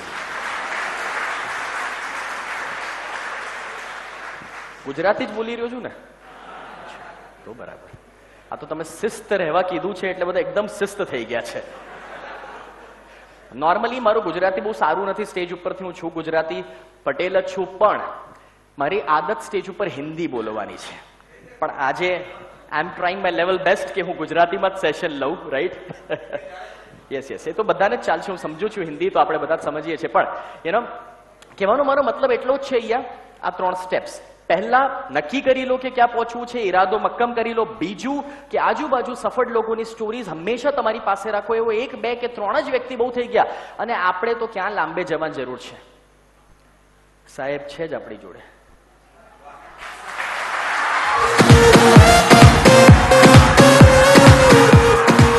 રોજ જે સવારે જ્યારે તમે અહીંયા ઉઠો છો, દિવસની શરૂઆત કરો. જેમ આજે આ પ્રોગ્રામ શરૂ કરતા પહેલા એમને પુષ્પ અર્પણ કર્યા અહીંયા રાઈટ તો બસ એટલું જ આપણે રોજે એમને જોઈને પણ શરૂ કરીએ ને. એક જ સ્ટોરી બહુ થઈ ગઈ કે ભાઈ એ કરી શકે છે તો આપણે કરી શકીએ છીએ, વાત પૂરી થઈ જાય છે અહીંયા. આટલી જ સ્ટોરી આપણા માટે બહુ છે. કેવી રીતે પૂછવાની જરૂર નથી, ખાલી વિશ્વાસ જ છે જે ત્યાં આપણને લઈ જાય છે. તો આ તો પહેલો સ્ટેપ બીજો સ્ટેપ જે તમારી સાથે હું શેર કરવા માંગુ છું અને એ છે ફિઝિયોલોજી ફિઝિયોલોજીનો મતલબ થાય છે સાયન્સે પ્રૂવ કરી ચૂક્યું છે કે તમારી જે મનની અવસ્થા છે ને એ તમારા શરીરની અવસ્થા સાથે જોડાયેલી છે. મતલબ કે તમારું શરીર જો ડાઉન હોય છે, તો તમારું મન પણ ડાઉન થઈ જાય છે અને જો તમારું શરીર સ્ટ્રોંગ હશે, તો તમારું મન પણ સ્ટ્રોંગ થઈ જાય છે. હવે આની સાથે ઘણી બધી હું તમને એક્ઝામ્પલ આપી શકું છું, જેમ કે આજથી પચીસ વર્ષ પહેલા આપણે ક્રિકેટ જોતા અને યાદ કરીએ અગર, તો ક્રિકેટમાં જ્યારે એક વિકેટ લેવામાં આવતી, તો નજીકથી એક પ્લેયર આવે અને આઈને શું કે? સાબાશ પતી ગયું. આટલું જ સેલિબ્રેશન હતું. અને આજે, અત્યારે જ્યારે ક્રિકેટર્સને આપણે ઓબ્ઝર્વ કરીએ, એક વિકેટ લેવામાં આવે, મને કહો શું થાય છે? અગિયારે અગિયાર ભેગા થાય. અને કંઈક એવું સેલિબ્રેટ કરે કે જાણે એ લોકો મેચ જીતી ગયા હોય. કેમ? કારણ કે એ બધા જ લોકોને ફિઝિયોલોજીનો પાવર શીખવવામાં આવ્યો છે. હવે અહીંયા હું તમને એક નાનકડો વીડિયો દેખાડું જેનાથી તમને ખ્યાલ આવશે હું શું કહેવા માંગી રહ્યો છું. So just a second I just need to exit the presentation okay હવે છે ને, આપણે બધાએ જ આ વસ્તુ જોયેલી છે. આપણે બધા લોકોને જોયા છે કે જ્યારે પણ એ લોકો રમે છે ને, તો એમનું બોડી એમની એનર્જી એમના શરીરમાંથી દેખાય. મતલબ કે ક્યારેક એ લોકો કૂદે છે, ક્યારેક. તમે જોયું હશે કે એ લોકો ક્યારેક બૂમો પાડે છે સાથે જ ક્યારેક આખી ટીમ છે, તો એ ભેગી થઈ જાય. હવે અહીંયા વાત ખાલી ક્રિકેટની નથી. તમે ફૂટબોલમાં પણ આ જોયું હશે, ટેનિસમાં જોયું હશે, ગોલ્ફમાં જોયું હશે, દરેક જગ્યાએ. તમે મને એમ કહો, તમે મને એમ કહો કે કેમ એવું છે કે પચાસ કે સો રન મારવામાં આવે ને ત્યારે બેટ ઉપર કરવામાં આવે છે? કોઈ કારણ હશે એના પાછળ? કોઈ એવો રૂલ છે કે ભાઈ સો રન ઉપર બેટ ઉપર ના કરે, તો સો રન ગણવામાં નહીં આવે?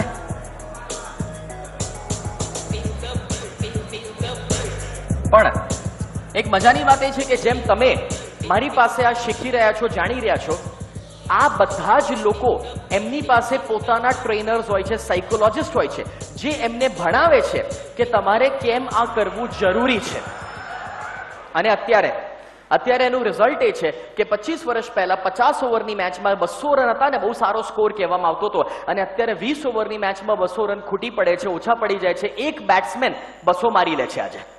આ જે પરફોર્મન્સમાં ચેન્જ આવ્યો છે. એ ચેન્જ એ લોકોએ પોતાના ફિઝિયોલોજીમાં ચેન્જ લાવીને કર્યો છે. એક નાનકડો એક્ઝામ્પલ આર્મી વાળા લોકોને કેવી રીતે ઊભા રાખવામાં આવે છે? આર્મી પોલીસ રાઈટ આપણે બધા જ જાણીએ છીએ.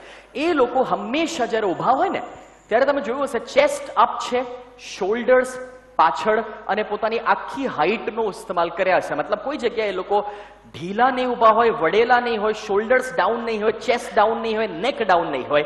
અને આ જ વસ્તુ સમજવાની જરૂર છે કે આ વસ્તુ એમનો કોન્ફિડન્સ લેવલ જે છે એ બધાથી જ ક્યાંક ઉપર રાખે છે. I had an opportunity last year હું અહેમદનગરમાં હતો, મહારાષ્ટ્રનું એક નાનકડું શહેર. ત્યાં આખો આર્મીનો મોટો બેઝ કેમ્પ છે. અને ત્યાં લેફ્ટનન્ટ કર્નલ પંકજ નાયરન અમારા બહુ સારા મિત્ર બન્યા જે ત્યાંના બહુ મોટા હેડ હતા અને એ વ્યક્તિ સાથે પચીસ એમના રેજિમેન્ટમાં જે લોકો હતા આર્મીમાં, એ લોકોને મને મોકો મળ્યો આ જ ટ્રેનિંગ આપવાનો. અને આખી ટ્રેનિંગ પછી એ લોકો મારી સાથે શેર કરે છે કે, સ્નેહ, અમે આ બધું વર્ષોથી કરતા તો હતા, પણ અમને આજે પહેલીવાર સાયન્ટિફિકલી સમજ પડી કે અમે જે કરીએ છીએ, શું કરવા કરીએ છીએ, એની પાછળનું કારણ શું છે? અને હું તમને એ જ કહેવા માંગુ છું કે આજે એ લોકો જે રીતે ચાલે છે, જે રીતે પોતાના બોડીનો ઉપયોગ કરે છે, તો કંઈક કારણ છે. હવે એનો આપણે દાખલો ઘણી બધી જગ્યાએ જોયો છે. હું તમને એક એક્ઝામ્પલ આપું અત્યારે. તમને ખ્યાલ આવશે હું શું કહેવા માંગુ છું. જેમ કે,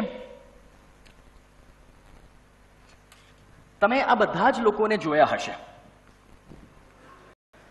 અને આ બધા જે મહાન લોકો છે, તમે જુઓ, આજે અમિતાભ સાહેબ આજની તારીખમાં પણ જ્યારે કેમેરાની સામે આવે ને ઉંમર ગમે તેટલી હોય, પણ એમની પૂરી હાઈટનો ઉપયોગ કરીને ચાલે. અથવા મોદી સાહેબને બી તમે જ્યારે પણ બોલતા જોયા હશે, તો એમની ફિઝિયોલોજી તમે જુઓ, જે રીતે ઊભા હોય, એ ઊભા રહેવાની સ્ટાઇલમાં જ કંઈક અલગ કોન્ફિડન્સ દેખાઈ આવે છે. અથવા તો ગાંધીજીને તમે યાદ કરશો ને, તો એ જ્યારે રેલી લઈને નીકળતા, તો એટલા ફાસ્ટ ચાલતા હતા કે એમની પાછળના લોકોએ દોડવું પડતું હતું.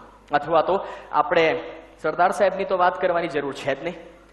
કહેવાનો મતલબ બહુ જ સિમ્પલ છે. હું તમને એટલું જ શીખવા માંગુ છું કે તમારો બોડીનો સાચો ઉપયોગ કરો. મતલબ કે અત્યારે બેઠા પણ છો ને, તમે તમારા ક્લાસમાં પણ જ્યારે હો, જો તમે બેસતી વખતે બી જો રિક્લાઇનર સીટમાં જતા રહ્યા ને, તો અહીંયા બધું રિક્લાઇન થઈ જશે. બધું સપાટ. અને એટલા જ માટે સીધું બેસવું, પોતાની હાઈટનો સાચો ઉપયોગ કરવો. અને ગમે ત્યારે કોઈ એક્ઝામ આપવા જ્યારે તમે ગયા, ખાસ કરીને કોઈ વાઇવા ટાઈપની એક્ઝામ છે, ત્યારે તમે કઈ રીતે ઊભા રહો છો એ બહુ મેટર કરે છે તમારા કોન્ફિડન્સને અને એટલા જ માટે આદત રાખો હાઈટનો પૂરો ઉપયોગ કરવાની. આદતમાં લઈને લઈને આવો કે આ શોલ્ડર્સ અને ચેસ્ટ જે છે કોઈ દિવસ ડાઉન ના થાય. તમે મને એમ કહો, ક્યારે પણ તમે કોઈ વ્યક્તિને રડતા કે ડિપ્રેશનમાં આવી ફિઝિયોલોજી સાથે જોયો છે જેટલી વખત તમે કોઈને પણ રડતા કે ડિપ્રેશનમાં જોયો હશે ને, હંમેશા ચેક કરી લેજો. એના શોલ્ડર્સ અને ચેસ્ટ ડાઉન હશે. અને ત્યારે જ દુઃખી થઈ શકે, રડી શકે. Because let me give you simple formula emotion is created by motion loose motion નહીં. ઇમોશન ઇઝ ક્રિએટેડ બાય મોશનનો મતલબ બહુ સિમ્પલ છે કે તમારી ભાવનાઓમાં ઇમોશનમાં ત્યારે બદલાવ આવે છે. જ્યારે તમારા બોડીમાં બદલાવ આવે છે. માની લો કોઈ વ્યક્તિ ડિપ્રેશનમાં હોય, હારી ગયો હોય લાઈફથી એને તમે લઈ જાઓ ઇમેજિકા અને ઇમેજિકામાં જ્યારે કોઈ રોલર કોસ્ટરમાં બેઠો હોય અને એનું બોડી આવા મોશનમાં છે, ત્યારે ચેક કરી લો એનું ડિપ્રેશનનું લેવલ એ અસંભવ છે કે એ વખતે ડિપ્રેસ્ડ હશે, કે નેગેટિવ વિચારમાં હશે. એ નેગેટિવ થિંકિંગ કરવાવાળો માણસ, એ ગિવઅપ કરેલો માણસ હંમેશા પોતાની ફિઝિયોલોજીને ડાઉન કરીને બેઠો હશે. હવે ઘણા બધા લોકો મને એમ કે કે સર, એ તો એટલા માટે કારણ કે એના લાઈફમાં કંઈક ખરાબ થયું છે. ખરાબ રિઝલ્ટ આવ્યું છે, પડોશીએ આવું કરી નાખ્યું છે, કોઈક એને છોડીને જતું રહ્યું છે, ઘરમાં કોઈ ગુજરી ગયું છે, વગેરે વગેરે. હું સમજી શકું છું. પણ એનું ડિપ્રેશન તમને કે નેગેટિવ થિંકિંગ બે કલાક રહે, બે દિવસ રહે. પણ જો બે અઠવાડિયાથી માણસ દુખી જ હોય, કોઈ બે મહિનાથી હાર માનીને બેઠો હોય, તો તમે સમજી શકો છો કે એનું કારણ બહાર નથી, એનું કારણ આપણી અંદર છે. એક નાનકડું એક્ઝામ્પલ લઈએ કેને ગેટ મોબાઈલ ફોન પ્લીઝ હવે લેટ સે કે એક મોબાઈલ ફોન છે. અને આ મોબાઈલ ફોન અગર માની લો કે પડી જાય છે. હવે માની લઈએ છીએ કે ભાઈ દસ હજારનું નુકસાન થયું છે, બરાબર? હવે ઇમ્પોર્ટન્ટ એ નથી કે રૂપિયા કેટલા હતા. આપણે માનીએ છીએ કે કોઈકનું દસ રૂપિયાનું નુકસાન, કોઈકનું દસ લાખનું નુકસાન. મારું તમને એટલું જ કહેવું છે કે જ્યારે આ થયું,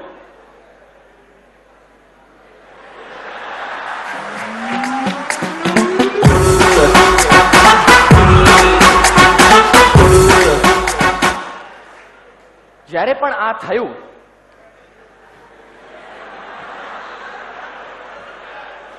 ત્યારે સમજવાની વાત એ છે કે ભલે દસ હજારનું નુકસાન થયું, પણ હવે સૌથી અગત્યનો મુદ્દો એ આવે છે કે તમારું ફોકસ શેના ઉપર છે. સી અગર તમારું ફોકસ નુકસાન ઉપર હશે ને, તો તમારી ફિઝિયોલોજી જે ડાઉન રહી અને તમે જે દુખી રહ્યા, એ બે દિવસની બે મહિના સુધી ચાલશે. એક વ્યક્તિ જેને પાંચ દિવસ હોસ્પિટલાઇઝ કરવામાં આવે એ વ્યક્તિનું જો ફોકસ એના જ ઉપર રહે, તે પાંચ દિવસ દુખી, પાંચ મહિના યાદ કરી કરીને કે કોઈ મને ઠોકીને ગયું હતું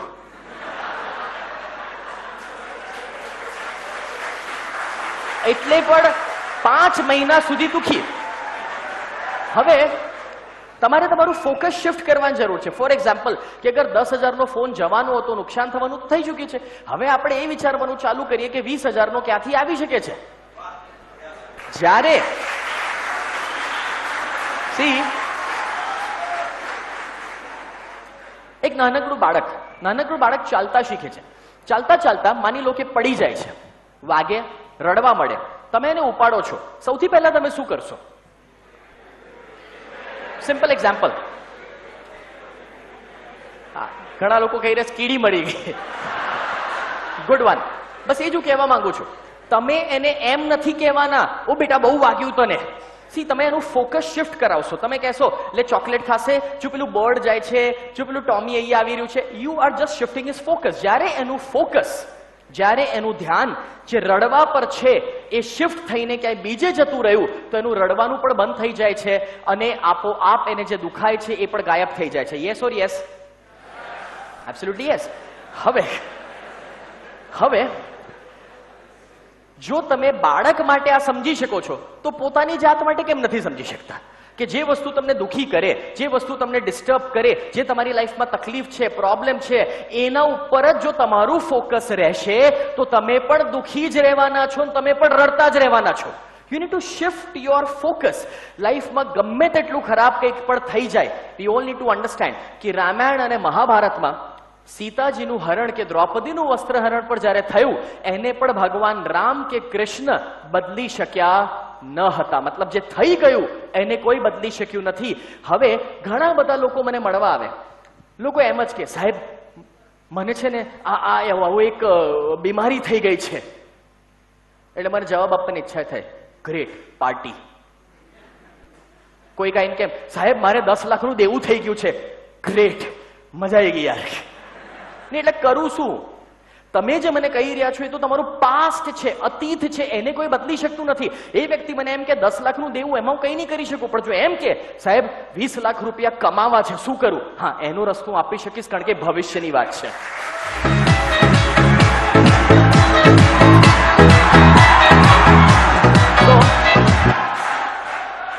કોઈ વ્યક્તિ જો એમ કહેશે કે, ભાઈ મને આ બીમારી છે, કદાચ હું એની હેલ્પ ના કરી શકું. પણ જો એ વ્યક્તિ એમ કે મારે તંદુરસ્ત થવું છે, તો જ હું એની હેલ્પ કરી શકીશ. સો આપણે બધાએ જ આપણું ફોકસ શિફ્ટ કરવાની જરૂર છે. અને જ્યારે હું ફોકસ શિફ્ટ કરવા માટે તમને કહી રહ્યો છું, આવું આપણે એનું થોડુંક ડિટેલમાં એક્ઝામ્પલ લઈએ. અહીંયા તમારી સામે એક સર્કલ છે, તમે તમારા સ્ક્રીન ઉપર પણ નજીકમાં જોઈ શકશો. પહેલું જે રેડ કલરનું મોટું સર્કલ છે ને એને કહેવાય સર્કલ ઓફ કન્સર્ન મતલબ કે આપણી લાઈફમાં જેટલી તકલીફો પ્રોબ્લેમ હોય ને, એ બધું જે આપણને લાગતું વળગતું છે. બધું આ સર્કલના અંદર છે. અને સર્કલની બહાર કંઈક એવી વસ્તુઓ છે જે વસ્તુ આપણને લાગતી વળગતી નથી. હવે મને એમ કહો, ઇન્ડોનેશિયામાં અર્થક્વેક આવે? એ આપણા સર્કલમાં આવે કે બહાર આવે? છતાંય ઘણા લોકો સવારે આખો આર્ટિકલમાં છે. અલા, પણ ભાઈ તારું ના ત્યાં કોઈ ઇન્વેસ્ટમેન્ટ છે, ના કોઈ કાકા બાપા રહે છે. તો બુક એક મારા સગા સંબંધીના ત્યાં હું સવાર સવારમાં એક અંકલના ત્યાં ગયો, મારા ફેમિલી સાથે. હવે મમ્મી પપ્પા સાથે હોય ત્યારે હું બહુ બોલું નહીં. સ્ટેજ વગર મને બહુ બોલવાની આદત નથી. હવે ત્યાં એવું બન્યું કે ઓલમોસ્ટ કલાક અમે બેઠા અને એ અંકલ છાપામાં જ ઘૂસેલા હતા. જતા જતા મારથી ના રહ્યો મેં પૂછ્યું કે અંકલ, બહુ બહુ મોટા ન્યૂઝ આવ્યા છે, તમે આટલું હજુ છાપું વાંચ અરે, તને ખબર નથી કાલ માર્કેટ છસો પોઈન્ટ પડી ગયું? મેં કીધું, અચ્છા, મને ખબર નથી. ભાઈ હવે તમારું કેટલું ઇન્વેસ્ટમેન્ટ હતું? ગાંડો થઈ ગયો છે, એમાં નખાતા હોય. અલા પણ એકે ફદ્યું નાખ્યું નથી, તો માર્કેટ છસો પોઈન્ટ પડી ગયું એની. તમને હું રામાયણમાં સી આ બધા આ બધા જો જીવનમાં આગળ વધવા માંગો, તો પહેલા એક વસ્તુ નક્કી કરી લો કે કઈ વસ્તુ મારા કન્સર્નમાં છે ને કઈ વસ્તુ મારા કન્સર્નમાં નથી જે નથી, એના ઉપર ધ્યાન આપવાનું બંધ કરો. આપણા જીવનની અડધી એનર્જી જેમાં જતી રહે છે. તને ખબર? પેલી પેલાને છોડીને ગઈ.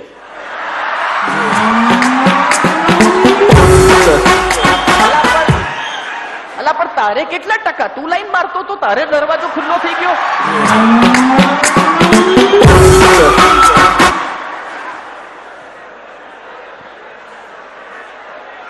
એ અલી એ અલી, ત્યાં જો પેલી. કેવા કલરનું પહેરીને આવી છે? હું કરું તમારે?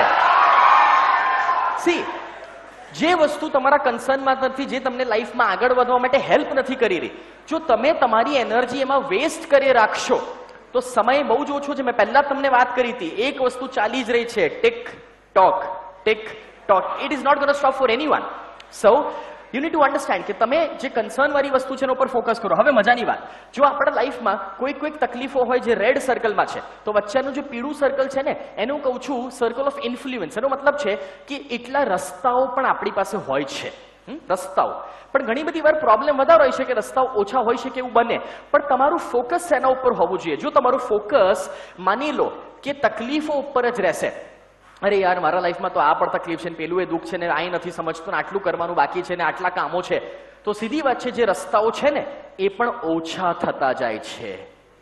તમે જોઈ શકો છો, હું શું દેખાડવા માંગી રહ્યો છું તમને સ્ક્રીન ઉપર રાઈટ રસ્તા ઓછા થતા જાય છે. પણ જો પ્રોબ્લેમ હોય, તકલીફ હોય, જે તો બધાના જીવનમાં હોય, પણ જો તમારું ફોકસ હશે, કે એમાં હું શું કરી શકું છું? મારી પાસે કયો રસ્તો છે? કોણ છે જેમાં મારી મદદ કરી શકે છે? આમાંથી હું બહાર કેવી રીતે નીકળી શકું છું? જો તમે પોઝિટિવ થિંકિંગ સાથે પોઝિટિવ વસ્તુઓ પર ફોકસ કરશો, તો તમને રસ્તા મળવાનું ચાલુ થશે અને એવા એવા લોકો મદદ કરવા માટે આવશે જે તમે વિચાર્યું પણ નહીં હોય. અને ત્યારે ઓટોમેટિકલી લાઈફના પ્રોબ્લેમ ખતમ થતા જાય છે અને રસ્તાઓ ખુલવા મળે છે. અને આ જ થિંકિંગ છે, આ જ થિંકિંગ છે કે જે એક એવો નતીજો લાવશે લાઈફમાં કે જ્યારે લાઈફના પ્રોબ્લેમ્સ ઓછા હશે, રસ્તાઓ વધારે હશે, એમાંથી જ સવજીભાઈ બને છે.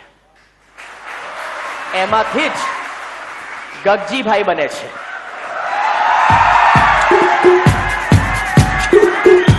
અને અને ખરેખર જય સરદાર બોલવાની સાથે એ આપણા જો રોલ મોડલ હોય અને સરદાર બનવાનું સપનું જો આપણે જોયું હોય કે એમના દિશા ઉપર આગળ વધવાનું સપનું આપણે જોયું હોય, તો એ આ જ થિંકિંગથી થાય. એમની પાસે પ્રોબ્લેમ્સ એટલા ન હતા જેટલા રસ્તાઓ હતા. અને ત્યારે જ એ આટલું મોટું વિઝન જોઈ શક્યા. અને હું તમને કેવા વ્યક્તિને મળું.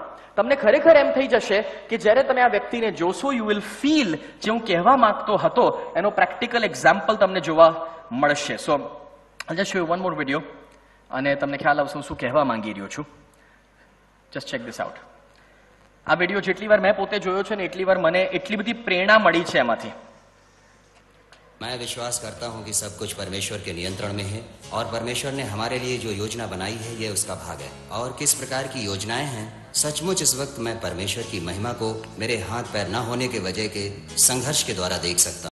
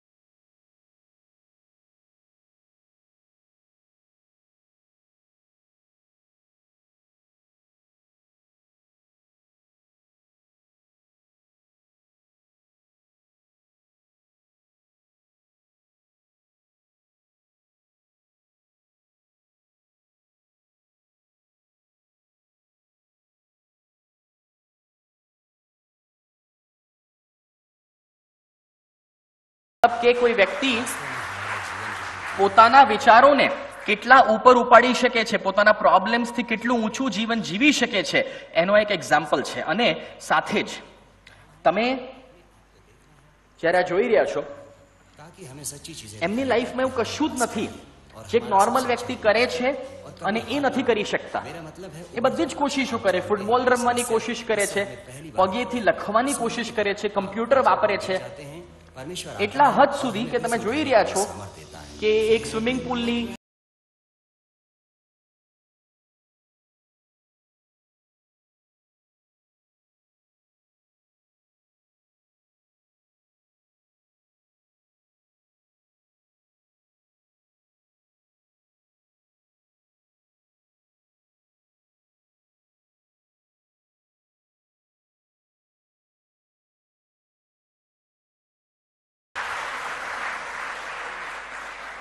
હું તમને આ એક્ઝામ્પલ દ્વારા ફક્ત ને ફક્ત એટલું જ કહેવા માંગુ છું કે જ્યારે આપણે આ સમજી રહ્યા છીએ, તો આપણે બધાએ જે જાણવાની જરૂર છે કે ખરેખર કોઈ વ્યક્તિ ચાહે તો લાઈફની ગમે તેટલી તકલીફો કે ગમે તેવી પરિસ્થિતિઓ હોય, એમાંથી બહાર નીકળીને એક સારું જીવન જીવી શકે છે. અને મજાની વાત તો એ છે કે આમાં વિડીયોમાં તમે આજે બંગલો જોઈ રહ્યા હતા ને, એક બહુ મજાની સ્ટોરી છે.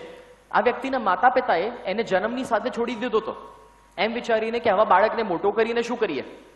એ ચાહત તો પોતાની જિંદગી ખતમ કરી શકત, એ ચાહત તો ફક્ત એક ગરીબના રૂપમાં આખી જિંદગી વિતાવી શકત. પણ તમે આ વિડીયોમાં જે બંગલો જોયો છે, એ બંગલો એણે પોતાની મહેનતથી બનાવેલો છે. અને એટલે જ કહેવામાં આવે છે કે જે વ્યક્તિ કંઈક કરવા માંગે છે ને તો કોઈ પણ હાલતમાં કરી દેશે. પણ જે કશું જ નથી કરવા માંગતો, એને તમે બધું જ આપી દો, તો પણ એ કંઈ નથી કરવાનું. અહીંયા આપ બધા જે ભણી રહ્યા છો, જે ફેસિલિટીઝ માણી રહ્યા છો we should be really thankful બહુ જ ઓછા લોકોને આવો મોકો મળે છે. બહુ જ ઓછા. દુનિયામાં પર્સન્ટેજ જોવા જઈશું ને, તો એમનેમ જ આપણે બધા પોઈન્ટમાં આવી જઈએ છીએ. એક ટકાથી પણ ઓછામાં કે જેને આ ઓપોર્ચ્યુનિટી મળી રહી છે, આ ગ્રોથ માટેની. આ સપનું એટલું મોટું છે કે જેને લઈને હવે ભાવનગર, સુરત ઘણી બધી જગ્યાએ કોશિશ છે કે આવા જ સેન્ટર્સ આપણે ઊભા કરીએ. પણ તમે જ્યારે અહીંયા બેઠા છો, એટલું જ કહીશ કે કોઈક બીજા બાળકની આ એક બહુ મોટું ડ્રીમ જ હોઈ શકે કે મને આવી ઓપોર્ચ્યુનિટી મળે જે આપ સૌને મળેલી છે.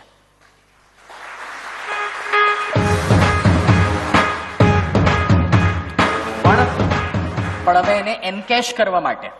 એનકેશ કદાચ સાચો વર્ડ નથી પણ હું એ રીતે કહીશ કે અત્યારે જ્યારે પણ ગગજીભાઈ કંઈક વાત કરતા ને મેં જોયું કે આ બધાની એનર્જી બહુ વધી જતી. કારણ કે હું સમજુ છું કે જે માન સન્માન, પ્રેમ તમારા અંદર છે, એ તરત ઉભરાઈ આવતો હતો. પણ સાચી રીતે જો તમારે એને દેખાડવું હોય ને, સાચી રીતે તમારે થેન્કફુલનેસ લાવી હોય, તો જે કરવાની જરૂર છે બહુ જ સિમ્પલ છે. આપણું ફોકસ ક્લિયર કરવાની જરૂર છે. બધા પાસે અહીંયા વાઈફાઈ ભણવાની જગ્યા કેટલી બધી ફેસિલિટીઝ છે? લાઇબ્રેરી? પણ હવે એનો આપણે સદુપયોગ કરી રહ્યા છીએ કે શું કરી રહ્યા છે? એ તમારી પાસે છે, જવાબ હું પૂછી નથી રહ્યો. હું પણ એટલું જ કહેવા માંગીશ કે ખરેખર આપણે આપણું ફોકસ ક્લિયર કરવાની જરૂર છે. કારણ કે મોબાઈલ ઇન્ટરનેટ ટીવી આ બધી જ એવી વસ્તુ છે જે બની છે આપણી લાઈફ સુધારવા માટે, બદલવા માટે.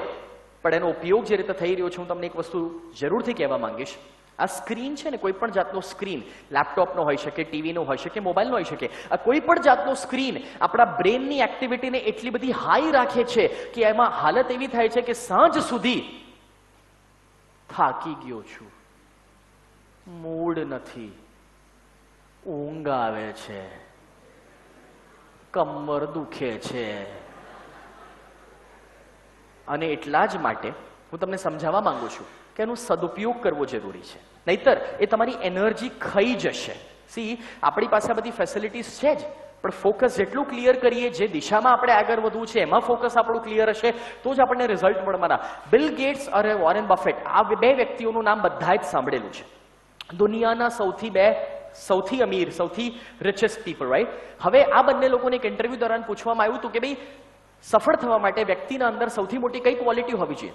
અને એકબીજા સાથે ડિસ્કસ કર્યા વગર બંને પોતાનો આન્સર છે ને કાગળ કાગળના ટુકડા ઉપર લખ્યો અને જ્યારે એ આન્સર ખોલવામાં આવ્યો સેમ આન્સર બંને આપ્યો તો એક જ શબ્દનો આન્સર હતો કે ભાઈ સફળ થવા માટે માણસને સૌથી મોટી કોઈ ક્વોલિટીની જરૂર છે તો એક જ શબ્દ છે ને એ છે ફોકસ આનાથી વિશેષ કશું જ નથી. કે તમે જે બનવા માંગો છો તમે જે કરવા માંગો છો બસ એના જ ઉપર તમારું ફોકસ હોય જે તમને મહાભારતમાં પણ કહેવામાં આવ્યું છે અર્જુનને જે રીતે એક જ આંખ દેખાતી હતી. That's it, ડન એનાથી વિશેષ કશું જ ના હોવું જોઈએ. જેટલો સમય તમારી પાસે બાકી છે તમારી એક્ઝામ્સ માટેનો જેટલો સમય તમને મળી રહ્યો છે તૈયારી કરવા માટે એટલું જ કરવાનું છે. દેટ્સ ઇટ ફોકસ જેટલું ક્લિયર હશે you are gonna go and then focus clear કર્યા પછી જે કરવાનું છે ચોથો મુદ્દો ઓનલી એફોર્ટ ખાલી મહેનત જ છે નો એક્સક્યુઝિસ કોઈ બહાના આપવાની જરૂરત નથી કે આજે મૂડ નથી ને તબિયત ખરાબ છે ને મિત્રની બર્થડે છે કશું જ કરવાની જરૂર નથી તમે પણ જાણો છો કે એ બહાના છે ગમે તેટલી સ્ટોરી સારી કહી દેશો કદાચ બીજું કોઈ કન્વિન્સ થઈ જશે તમને તો ખબર જ છે તો આપણે બીજા કોઈ માટે કંઈ કરવાનું જ નથી આપણે આપણા માટે કરી રહ્યા છીએ અને એટલા માટે એ બધા જ બહાનામાંથી બહાર નીકળવાની જરૂર છે. હું તમને અમુક એક્ઝામ્પલ્સ આપું. આ વ્યક્તિને કેટલા લોકો જાણે છે? You can simply raise your hand right beautiful majority of you Michael Phelps એક એવા વ્યક્તિ જેમણે ઓલિમ્પિક્સમાંથી એટલા બધા ગોલ્ડ મેડલ જીત્યા છે કે આપણો ભારત દેશ દોઢસો વર્ષના ઇતિહાસમાં એટલા ગોલ્ડ ભેગું કરી નથી લાવી શક્યો જેટલો આ એક માણસ જીતીને ગયો છે. હવે તમને એક ઇન્ટરેસ્ટિંગ વસ્તુ કહું, એણે છવ્વીસ વર્ષની ઉંમરે રિટાયરમેન્ટ લઈ લીધું ઓલિમ્પિક્સમાંથી એ સ્વિમિંગ કરતા હતા, એમણે રિટાયરમેન્ટ લીધું. અને જ્યારે રિટાયરમેન્ટ લીધું, ત્યારે એ મીડિયા કોન્ફરન્સમાં બોલે છે કે, હવે હું પહેલીવાર પાણીની બહારની દુનિયા પણ જોઈશ. કારણ કે એ એક દિવસમાં સોળ કલાકનો સમય પાણીના અંદર પ્રેક્ટિસમાં વિતાવતા હતા. સિક્સટીન આવર્સ અ ડે અને ત્યારે એમણે આ સફળતાઓ મેળવી છે. સોળ કલાક. સિમ્પલી અનબિલીવેબલ કે કોઈ વ્યક્તિ કેટલું પોતાની જાતને કોઈ પ્રોસેસના અંદર ડુબાડી શકે છે. અથવા તો આ પણ એક્ઝામ્પલ આ બધા જ જાણો છો. એક એવા વ્યક્તિ કે જ્યારે ઓલિમ્પિક્સમાં આવ્યા હતા ને he made a world record hundred meter race કે જેમાં એમણે સાડા નવ સેકન્ડમાં એક વર્લ્ડ રેકોર્ડ બનાવ્યો સો મીટર પૂરું કરીને. ચાર વર્ષ પછી ઓલિમ્પિક્સ આવે, આપ સૌ જાણો છો. ફરી જ્યારે ઓલિમ્પિક્સમાં બીજા ઓલિમ્પિક્સમાં આવ્યા, એમણે પોતાનો જ રેકોર્ડ તોડીને નવ સેકન્ડમાં એ સો મીટરનું ડિસ્ટન્સ પૂરું કર્યું અને મજાની વાત, પોતાનો રેકોર્ડ તોડ્યો, નવો વર્લ્ડ રેકોર્ડ બનાવ્યો અને જ્યારે મીડિયા વાળાઓ એમને પૂછ્યું કે સાહેબ, તમે છેલ્લા ચાર વર્ષમાં કર્યું શું? એમણે બહુ સહેજતાથી જવાબ આપ્યો.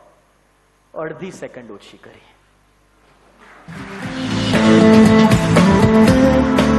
અને હું તમને બધાને એટલું જ કહેવા માંગુ છું, એમના માટે અડધી સેકન્ડ હતી અને ક્યાંક આપના માટે એક માર્ક હશે. એક જ માર્ક હશે. વધારે ફરક નહીં હોય, પણ પેલા એ જેમ અડધી સેકન્ડ માટે ચાર વર્ષ કાઢ્યા હતા. એ જ પ્રોસેસમાં આપ સૌ છો અત્યારે.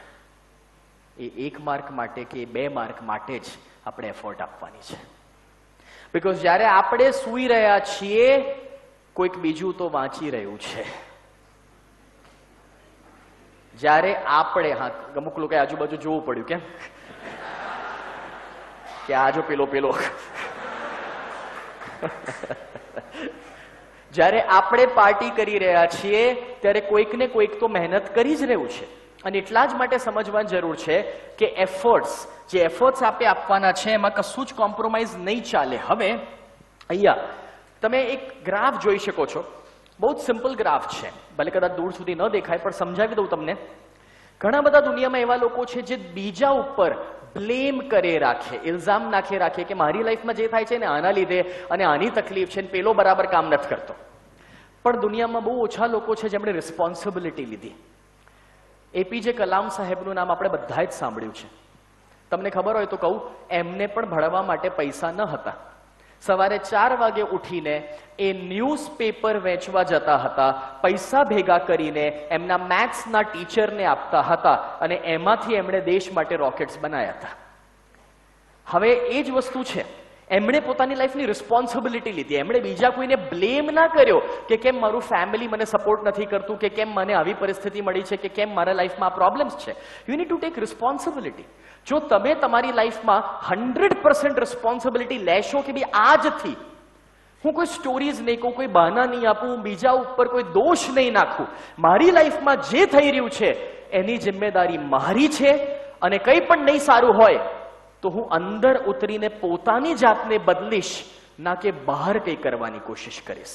Automatically you are in control of your life મને એક મહિના પહેલા ગગજીભાઈની સ્ટોરી જ્યારે પહેલી વાર જાણવા મળી, સાંભળવા મળી, તો મને સમજણ પડી કે એમણે કોઈ દિવસ બીજા ઉપર બ્લેમ નાખ્યો જ નથી.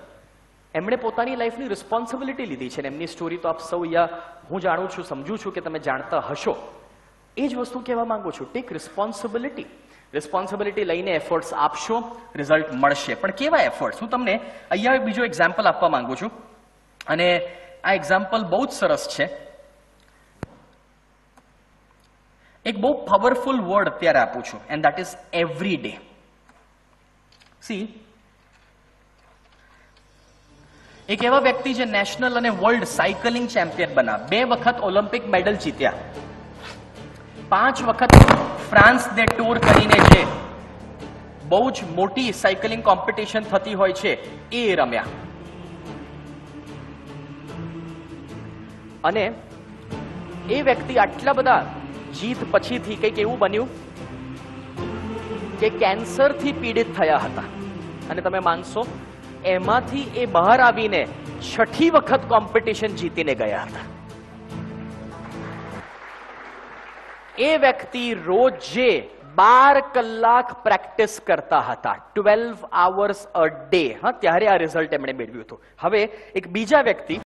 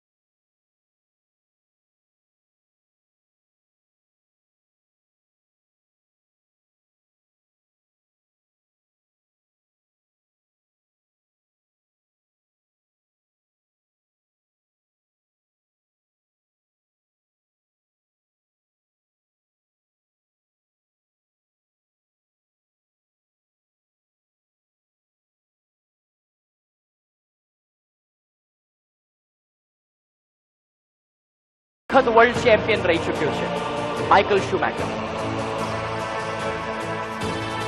અને છેલ્લે એક વ્યક્તિને આપણે મળીએ, જે જ્યારે પણ પ્રેક્ટિસમાં ઉતરે ને, ગાંડ પણ કરે.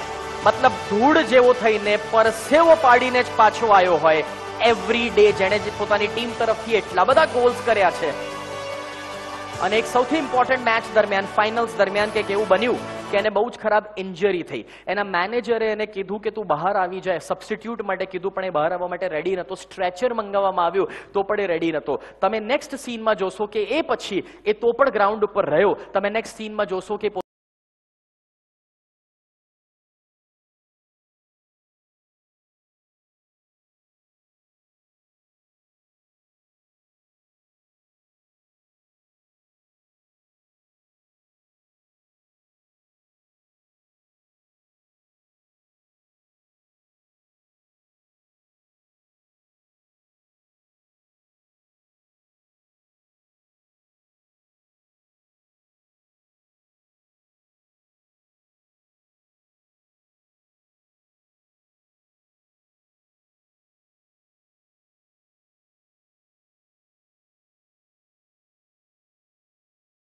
વિચારો કે જો તમે બધા જ રોજે જ આવી એફર્ટ આપવાનું શરૂ કરો, આવી પેશન સાથે કામ કરવાનું શરૂ કરો, તો શું થઈ શકે છે? So the word is simple every day ના કે એક વાર, ના કે બે વાર, ના કે ક્યારેક ક્યારેક.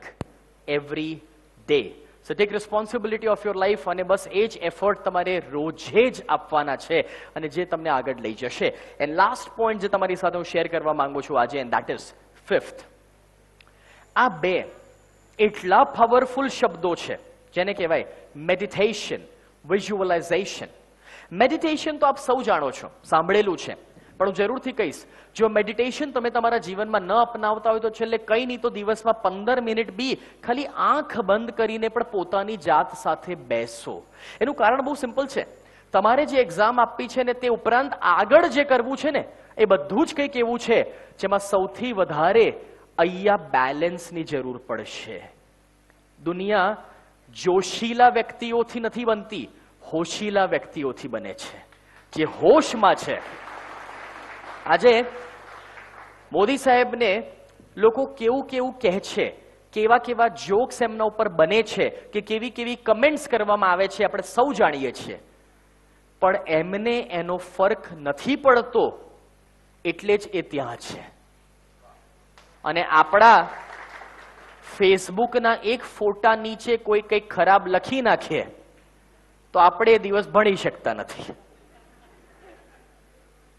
This is a big difference અને એટલા જ માટે મેડિટેશન કંઈ નહીં, તો ખાલી દસ પંદર મિનિટ પણ જો આંખો બંધ કરીને પોતાની જાત સાથે બેઠા સાંભળ્યું it is gonna make a real difference અને એની સાથે સાથે, જો તમે તમારા ભવિષ્યને વિઝ્યુલાઇઝ કરવાનું ચાલુ કરી દો, કે તમે શું ક્રિએટ કરવા માંગો છો આવતીકાલ માટે, તો ઓટોમેટિકલી એ પ્રોસેસ તમારા માટે આસાન થઈ જશે. હું તમને અહીંયા ઘણા બધા લોકોનો એક્ઝામ્પલ આપી શકું છું. આ એક એક ચહેરા જે તમને સ્ક્રીન ઉપર દેખાશે.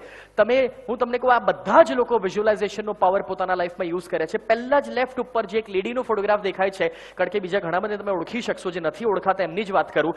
લિન્સે વોન આ એક એવા વ્યક્તિ છે જે સ્કેટિંગમાં, સ્કીઇંગમાં આઈસ સ્કીઇંગ જેને કહેવાય, એમાં દુનિયાના બધા જ રેકોર્ડ તોડી ચૂક્યા છે અને એક જ વસ્તુ કહે છે. કે હું એ રેસિંગમાં જઉં એ પહેલા આંખો બંધ કરીને આખો ટ્રેક વિઝ્યુલાઇઝ કરી લઉં છું કે હું કઈ રીતે રમવાની છું ને કઈ રીતે જીતવાની છું. અને વિઝ્યુલાઇઝેશન પછી જ મેં ચાલુ કરી છે મારી રેસ અથવા તો સચિન તેંડુલકર હંમેશા બેટિંગમાં જતા પહેલા વિઝ્યુલાઇઝ કરતા હતા કે આજે હું સેન્ચુરી મારી રહ્યો છું. ધીરુભાઈ અંબાણીએ કીધું હતું કે, સપના જો. એલ્બર્ટ આઇન્સ્ટાઇન કહેતા હતા કે, તમે જ્યારે વિઝ્યુલાઇઝ કરો છો તો તમે તમારા આવતીકાલના ભવિષ્યનું ટ્રેલર આજે જ જોઈ રહ્યા છો.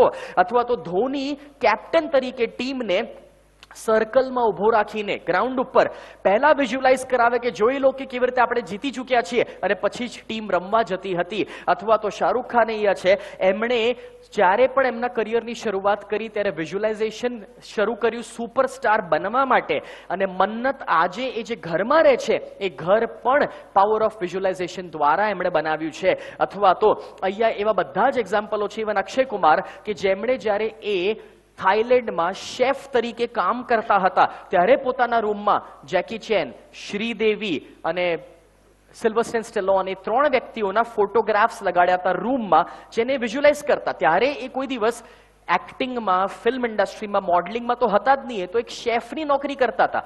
અને કેન યુ બિલીવ કે એ ત્રણ લોકો જેમની લાઈફના ઇન્સ્પિરેશન હતા, એમણે ત્રણેય જોડે આજે ફિલ્મમાં કામ કરેલું છે.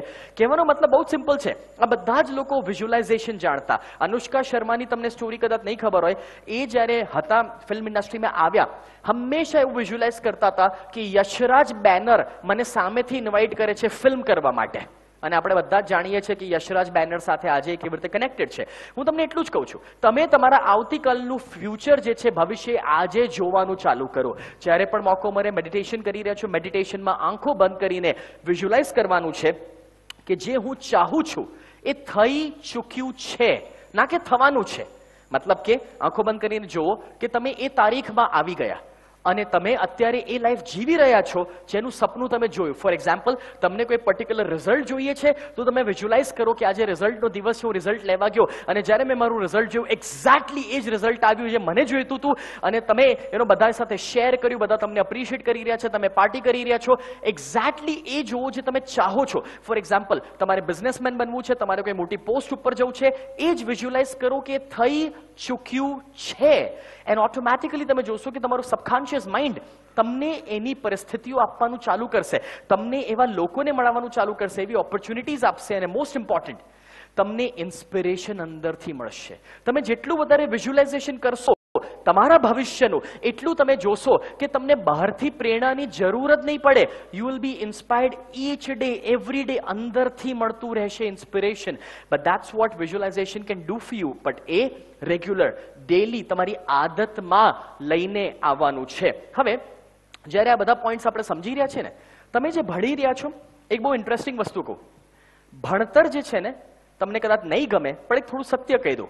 ભણતર માણસને મશીનના જેમ વિચારવા માટે મજબૂર કરે છે. વીસ વર્ષ પછી એવું બનશે કે મશીન માણસ જેવું વિચારતું હશે માણસ મશીન જેવું વિચારતું હશે.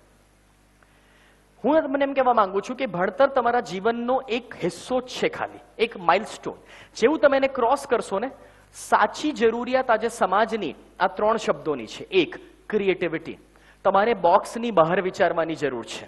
બીજું ઇમેજિનેશન કંઈક મોટી કલ્પનાઓ કરવાની જરૂર છે. તો તમે આ દેશમાં કંઈક પરિવર્તન લાવી શકશો. ને ત્રીજું, સૌથી અગત્યનું ઇન્ડિપેન્ડન્ટ થિંકિંગ મતલબ કે દુનિયા વિચારે છે એવું જ વિચારવું, એવું કોઈએ નથી કીધું. દુનિયા કરે છે એવું જ કરવું કે જીવવું, એવું કોઈએ જ નથી કીધું.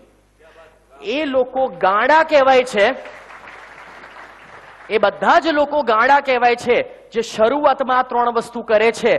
પણ જેવા એ લોકો સફળ થાય છે, બધા જ એમને જ પૂછવામાં પૂછવા આવે કે કેવી રીતે કરી નાખ્યું.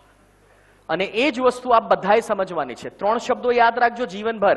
ક્રિએટિવિટી ઇમેજિનેશન ઇન્ડિપેન્ડન્ટ થિંકિંગ બાકી તો આ ભણતરમાં જેટલા અંદર ઉતરશો, એ તમને વિચારવા માટે બહુ જ ઓછી જગ્યા આપે છે. નવું કરવા જ નહીં દે. પણ હા, બહુ જરૂરી છે, કારણ કે એના દ્વારા આપણે એક અલગ લેવલ ઉપર પહોંચી શકીએ છીએ અને આપણે નવી શરૂઆત કરી શકીએ છીએ રાઈટ પણ એની સાથે સાથે આઈ હેવ લિમિટેડ ટાઈમ તો પતાવવાનો સમય આવી ગયો છે, પણ ફટાફટથી હું પાંચથી દસ મિનિટમાં તમારી સાથે એ શેર કરવા માંગુ છું, અગિયાર ફોર્મ્યુલા ખાલી દસ જ મિનિટમાં, જે તમને ભણવામાં હેલ્પ કરશે. કારણ કે અત્યાર સુધીનો ભાગ હતો ને સાયકોલોજીનો ભાગ હતો મોટિવેશનનો ભાગ હતો. પણ આ અગિયાર ફોર્મ્યુલા છે, જે ભણવામાં હંડ્રેડ તમને હેલ્પ કરવાના છે, સૌથી પહેલા. હંમેશા તમારા આખા દિવસનું અને અઠવાડિયાનું સ્કેડ્યુલ બનાવીને રાખો. કેટલા વાગે ઉઠવાનું છે, કયો સબ્જેક્ટ કયા દિવસે વાંચવાનો છે, એ બધું જ આખા અઠવાડિયાનું પ્લાનિંગ રેડી હોવું જોઈએ. કેમ ખબર છે? મને એમ કહો ઇન્ડિયન ક્રિકેટ ટીમ જે છે, એ કોઈ વર્લ્ડ કપ રમવા જાય, તો એવું સવારે ઉઠીને નક્કી કરે, ચાલ જ બોલિંગ પ્રેક્ટિસ કરી લઈએ કોઈ દિવસ સવારે ઉઠીને ચાલ જ બેટિંગ પ્રેક્ટિસ કરી લઈએ. ના. એમના સ્કેડ્યુલ છ છ મહિનાના પ્લાન્ડ હોય કે કઈ ટ્રેનિંગ કઈ સમય ઉપર કઈ રીતે લેવાની છે એક્ઝેક્ટલી એ જ રીતે તમારું પણ ભણવાનું એટલીસ્ટ અઠવાડિયાનો પ્લાન હોવો જોઈએ કે આ સમયમાં આ જ વાંચવાનું છે. એમાં કોઈ કન્ફ્યુઝન નહીં બિકોઝ તમારામાં કોઈ એથ્લીટમાં કોઈ ચેમ્પિયનમાં કોઈ વોરિયર કે યોદ્ધા કે આર્મીવાળામાં કોઈ જ ફરક નથી. પણ કોઈ પણ આર્મીવાળા વ્યક્તિ અથવા તો કોઈ પણ એથ્લીટ પ્લાનિંગ વગર લડવા ના જાય અથવા તો મેચ રમવા ના જાય. તમારે પણ જે એક્ઝામ આપવાની છે, એક એવી જ લડાઈ છે, જેનું પ્લાનિંગ તમારે કરવું જ પડશે. તો એવરી ડે પ્લાન કે તમે શું કરવાના છો, એક વીકનું પ્લાન નક્કી કરો ને એ પ્લાન પ્રમાણે જ કામ કરવાનું છે.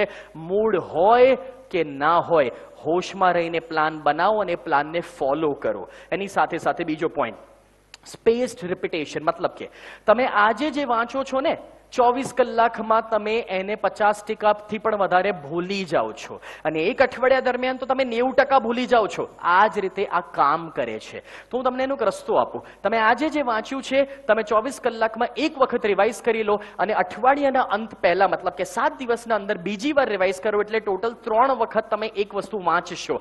તો આટલું કરવાથી નેવું ટકા મેમરીમાં એ વસ્તુ બેસી જશે, જેનાથી તમને એક્ઝામ સુધી યાદ રહેશે. પણ તમે એમ કહેશો કે સાહેબ, અમે જો ત્રણ વખત અઠવાડિયામાં વાંચીશું, તો નવું ક્યારે વાંચીશું? પણ મજાની વાત, જે વસ્તુ આજે બે કલાકમાં પહેલી વાર વાંચી, ચોવીસ કલાકના અંદર ફરી વાંચવાની થાય તો શું બે કલાકમાં વાંચવી પડે?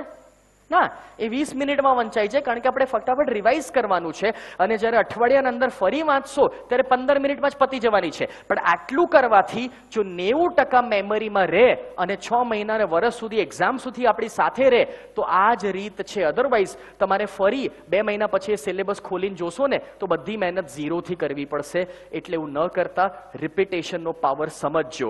બીજું, બધી જ સંવેદનાઓનો ઉપયોગ કરો. જ્યારે તમે ખાલી વાંચો છો દસ ટકા યાદ રહે છે. જ્યારે જો સાંભળો છો, ત્યારે વીસ ટકા યાદ રહે છે. જ્યારે જોવો છો, ત્યારે ત્રીસ ટકા યાદ રહે છે. અને જ્યારે પણ તમે સાંભળો છો અને જોવો છો, ત્યારે પચાસ ટકા. પણ જે વસ્તુ તમે પોતે બોલવાનું ચાલુ કરો છો, એ સિત્તેર ટકા સુધી યાદ રહે છે. મતલબ બહુ જ સિમ્પલ છે. તમે ઘણી બધી વાર ટ્રાય કર્યો હશે કે તમે વાંચતી વખતે સાથે સાથે લખો અથવા તો સાથે બોલીને વાંચો.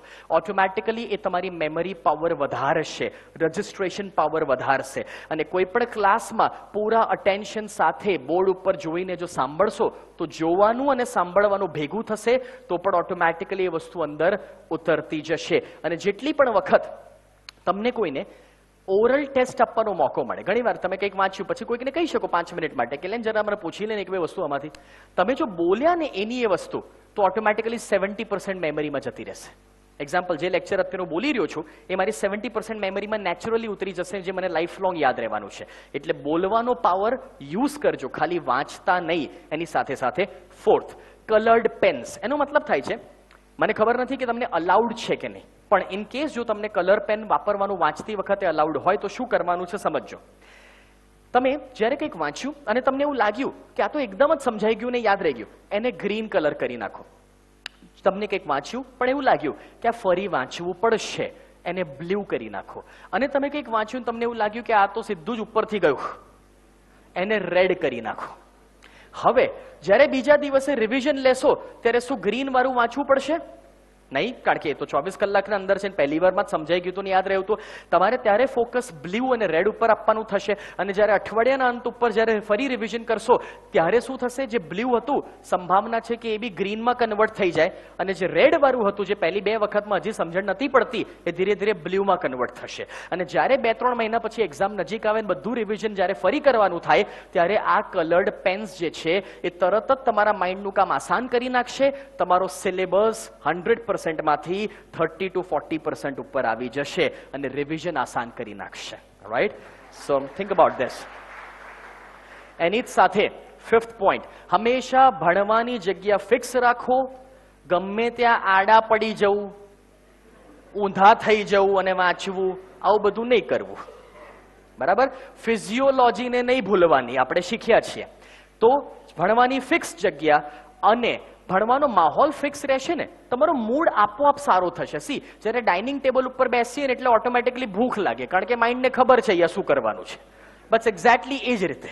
એ ભણવાની જગ્યા ફિક્સ હશે તો બેસશો તો મૂડ નહીં હોય, તો મૂડ આપોઆપ આવશે વાંચવાનો. એની સાથે સાથે પ્રેક્ટિસ ટેસ્ટ એનો મતલબ છે, જેટલી પણ તમને ટેસ્ટ લેવામાં આવે ટ્રાયલ માટે, કોઈ બી યુનિટ ટેસ્ટ હોઈ શકે કે પ્રેક્ટિસ કરવા માટે, હંમેશા એમાં પ્રેઝન્ટ રહો. ક્યારે પણ પ્રેક્ટિસ ટેસ્ટને મિસ ના કરવી, કારણ કે પ્રેક્ટિસ ટેસ્ટ જે સ્ટુડન્ટ્સ રેગ્યુલર આપે છે એમ કહેવાય છે કે એ લોકોનો success rate thirty five percent વધી જાય છે નોર્મલ સ્ટુડન્ટ્સની કમ્પેરિઝનમાં so always be present for practice test and seventh point બીજાને શીખવાડો. નાવ ધીસ ઇઝ હ્યુજ કોઈ પણ વસ્તુ જ્યારે તમે કોઈને શીખવાડો છો, એ નાઇન્ટી પર્સન્ટ તમને હંમેશા યાદ રહી જશે. હંમેશા. એક્ઝામ સુધી નહીં, હંમેશા.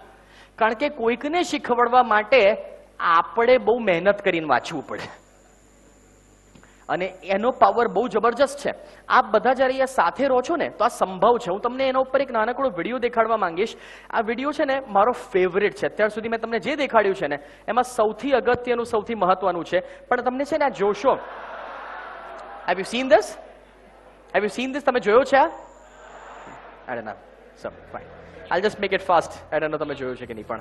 ઓકે સો એનો એક રેસ થવા જઈ રહી છે અહીંયા. આની કદાચ લેંગ્વેજ આપણને ન ખબર પડે, પણ દેટ્સ ઓકે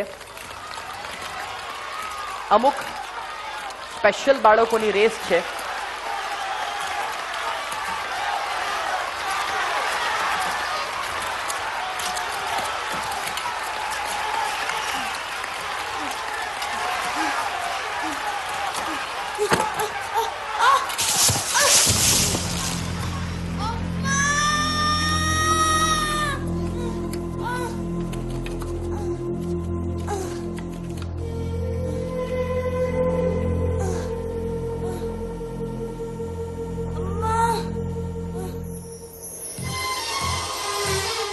બધા જ બાળકો પોતાની રેસ પતાવી શકતા હતા. પોતે જીતી શકતા હતા. છતાં પણ એ લોકો પાછા વળ્યા.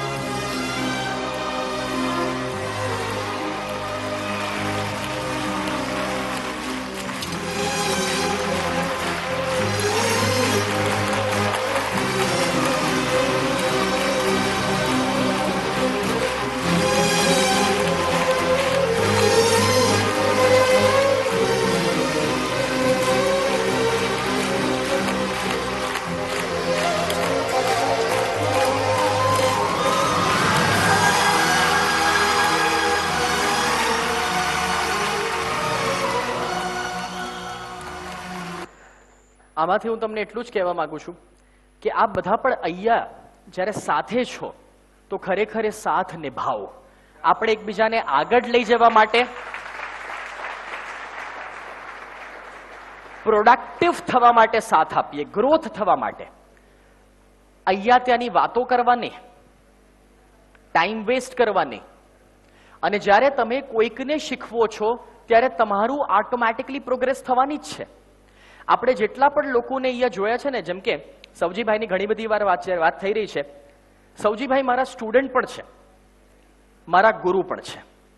મતલબ કે એમણે મારા પ્રોગ્રામ અત્યાર સુધી ત્રણ વખત અટેન્ડ કર્યા છે. સેમિનારમાં બેસીને વીસ વીસ કલાકના પ્રોગ્રામ બેસીને કર્યા છે. અને કેટલીય વખત એમની ઓફિસમાં એમના ઘરમાં બેસીને મેં એમને સાંભળ્યા છે, નિહાળ્યા છે ઘણું બધું મારી લાઈફ માટે મેં શીખવ્યું છે એમના કામને જોઈને. પણ હું એમ કહેવા માંગતો હતો કે જ્યારે આપણે સૌજીભાઈ અને એવા એવા મહાનુભાવ જ્યારે અહીંયા જોયા છે, સાંભળ્યા છે ને, એ બધાની ખાસિયત એક જ છે. એ લોકો આ લેવલ ઉપર પહોંચ્યા છે ફક્ત બીકોઝ એ લોકોને આપતા આવડતું હતું. સો તમને જ્યારે પણ આ મોકો મળે, તમારી આજુબાજુ સાથ આપો, શીખવો. અને eighth point now this is huge diet આ બધાને અત્યારે સારામાં સારું ડાયટ આપવામાં આવે છે. But I'll tell you something very important first dehydrated પાણી, તમારું બ્રેન એટી પર્સન્ટ પાણીથી બનેલું છે અને એટલા જ માટે દિવસ દરમિયાન જે પણ તમારા બોડીની પાણીની રિક્વાયરમેન્ટ છે, ત્રણથી ચાર લીટર અથવા બોડી વેઇટ પ્રમાણે તમે ગૂગલ સર્ચ કરી શકો છો એક્ઝેક્ટલી કેટલી હોય. તમે સમજીને રેગ્યુલર પાણી પીતા રહો. એટી પર્સન્ટ બ્રેન વોટર છે, પાણી જ છે, તો એને પાણી આપવું જરૂરી છે, તો ફંક્શન કરે. એની સાથે સાથે કોઈ પણ દિવસ નાસ્તો મિસ ના કરવો never ever in your life કારણ કે તમારી આખી સિસ્ટમ દિવસે શરૂ જ થાય છે નાસ્તા ઉપરથી. Never miss it you have breakfast right see right? See, અહીંયા અહીંયા મને નથી ખબર કે શું ફેસિલિટીઝ છે કે નથી. ઇમ્પોર્ટન્ટ ઓકે છે તો બહુ સારી વાત છે પણ કોઈ પણ વસ્તુમાં ઇમ્પોર્ટન્ટ આ નથી. ઇમ્પોર્ટન્ટ આ જ છે. ઓકે સો રિમેમ્બર ધેટ સાથે જ સ્વીટ્સ બાજુનો ઝુકાવ ઓકે સોરી એક્ઝામ ક્યારે પણ ખાલી પેટ આપવા ના જવી નેવર ઘણા લોકો એમ વિચારે, ખાઈને જઈશ, ઊંઘ આવી જશે. ના. એક્ઝામના કલાક પહેલા બી કંઈક તો ખાવું જ જરૂરી છે બોડીની એનર્જી માટે અને કોઈ પણ વખતે ઝુકાવ સ્વીટ્સ તરફ વધારે ન હોવું. હા, થોડી શુગર જરૂર છે બોડીને પણ વધારે શુગર હેલ્પ નથી કરતી. અને જો થોડું ઓબેસિટી આવી જશે, ટાયરો આવશે, તો ઓબીસ માણસની મેમરી બાર પર્સન્ટ ઓછી હોય છે નોર્મલ માણસની કમ્પેરિઝનમાં. Now this is a huge point so be careful ક્યારે પણ આપણે ઓબીઝ નથી થવાનું અને છેલ્લો મુદ્દો ફેટી એસિડ્સ ફેટી એસિડનો મતલબ, જો ક્યારે પણ મોકો મળે, તો એના માટે આપણે કંઈ ખાસ કરવાની જરૂર નથી, પણ મોકો મળે અને બદામ અને અખરોટ લઈ શકીએ, સારી વાત છે, છેલ્લે કંઈ નહીં, તો ઘી મળતું હોય તો લેવાય. આપણે ઘણી બધી વાર અત્યારે થોડા ઘીને લઈને ના ના ઘી તો માર નથી ખાવું. ના it is good for your brain એ મેમરીને હેલ્પ કરે છે રાઈટ આ ત્રણ વસ્તુઓ મે બી ચાર પણ કહી શકું. બદામ, અખરોટ તો મેં કીધા જ. ઘી and more importantly flax seed flax seed પર ક્યારેક ઓપ્શન મળતું હોય, લઈ શકાય રાઈટ સો નાઇન્થ પોઈન્ટ દસ પોઈન્ટ હતા, એમાંથી નવમો આવી ગયો છે. ક્યારે પણ તમારા ફોનમાં જ્યારે અલાર્મ વાગે છે સ્નૂઝ બટન કરીને પાછું સૂઈ ના જવું. એનું રીઝન એ છે.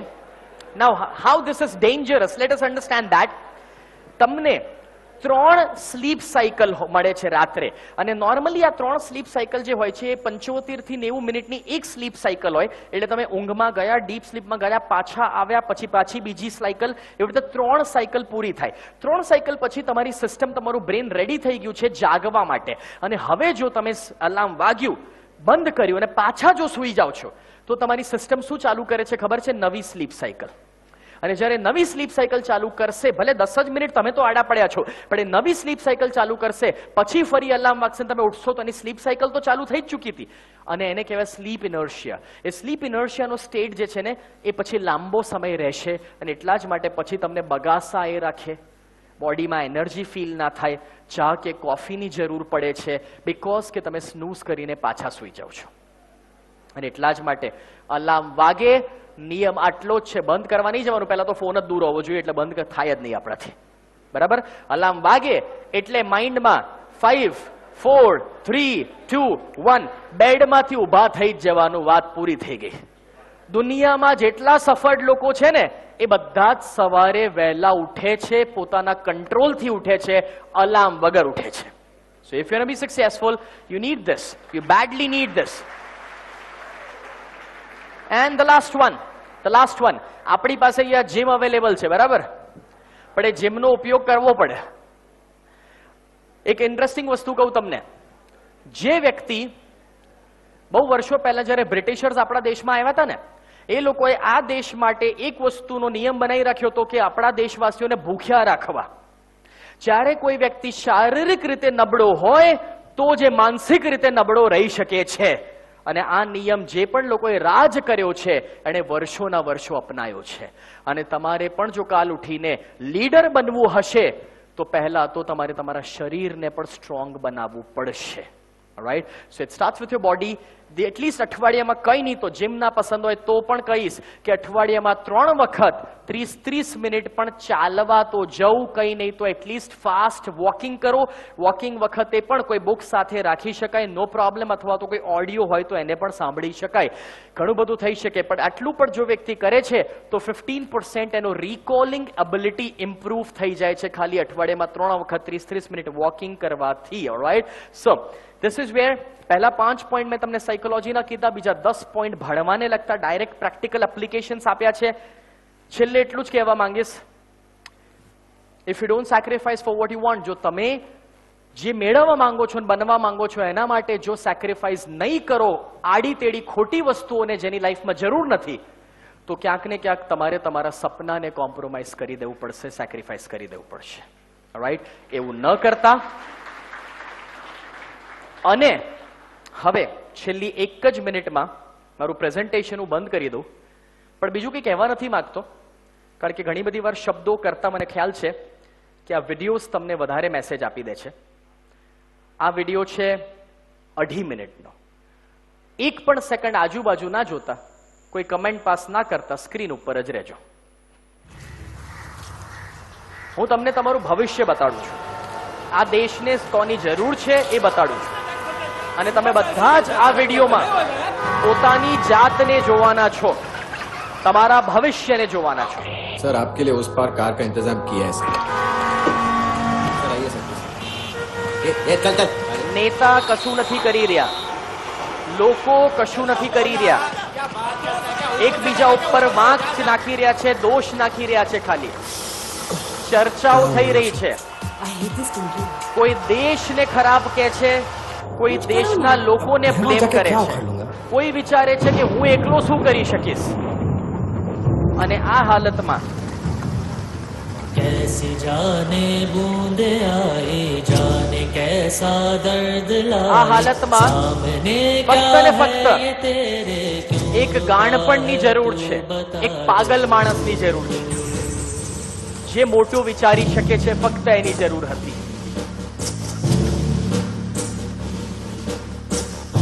तुझको पार लेगा, कौन होगा वो मसीहा?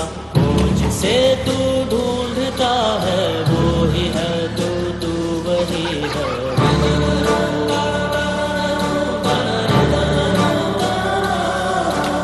तुझ में तेरा रास्ता है तुझ में तेरा है सहारा। तू ही तुझको पार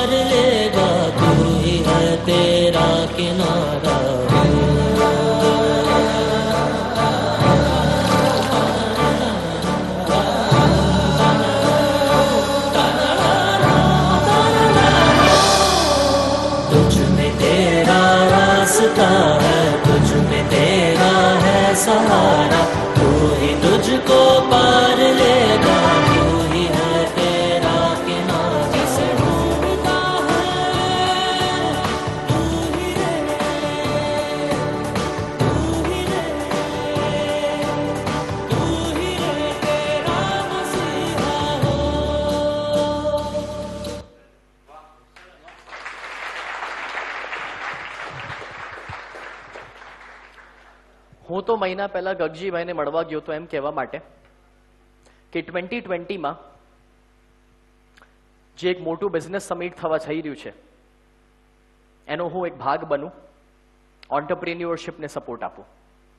પણ એમણે સૌ પ્રથમ એને સાઈડ પર મૂકીને આપ બધાને યાદ કર્યા. અને મને કીધું કે સ્નેહ, એ પછી પહેલા મારા બાળકો.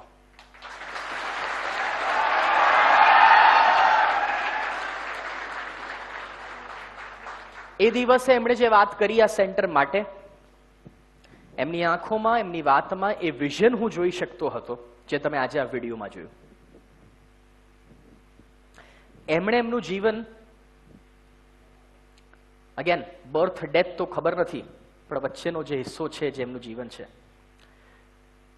એમણે એમનું જીવન જે પણ કાર્યમાં હવે મૂકી દીધું છે, સમર્પિત કરી દીધું છે, એમાં એમના અંદર એક સપનું છે કે આપ બધા આ કરી શકો છો દેશ માટે. અને આપણા દેશની જરૂરિયાતો આમ જોવા જઈએ ને તો બહુ નાની છે. એમાં કઈ બહુ જાદુ કરવાની જરૂર નથી. પણ બસ કોઈએ શરૂ કરવાની જરૂર છે. અને જ્યારે મારી સાથે એમણે વાત શેર કરી, મને પણ લાગ્યું કે યસ આ જ રિક્વાયર્ડ છે. I am really really happy today કે મને ઓપોર્ચ્યુનિટી આપવામાં આવી, આ સ્ટેજ ઉપર આવવા માટે, આ બધા સાથે વાત કરવા માટે. મને એ તો નથી ખબર કે તમે કેટલું મેળવીને જઈ રહ્યા છો, મને એ નથી ખબર કે તમે આમાંથી કેટલું વધારે અપનાવવાના છો. પણ હું મારા તરફથી એટલું જરૂરથી કહીશ કે મને પોતાને બહુ જ આનંદ છે, મને બહુ જ ખુશી છે કે કાલ ઉઠીને હું એની ખુશી મનાઈશ કે અહીંયાથી જે પણ ભવિષ્યમાં હવે સક્સેસ મેળવવાના છે, જે રીતે દેશ આગળ વધવાનો છે, જેમાં આપ બધા ભાગ બનવાના છો એમાં મને ક્યારેક ભાગ મળવાનો મોકો મળ્યો હતો. થેન્ક યુ થેન્ક યુ જય Sardar. Thank you thank you standing ઓવેશનથી આપણે એમને ગુંજારવથી તાલીઓના નાદથી વધાવીશું સ્નેહ દેસાઈને. ખૂબ ખૂબ ધન્યવાદ. આભાર.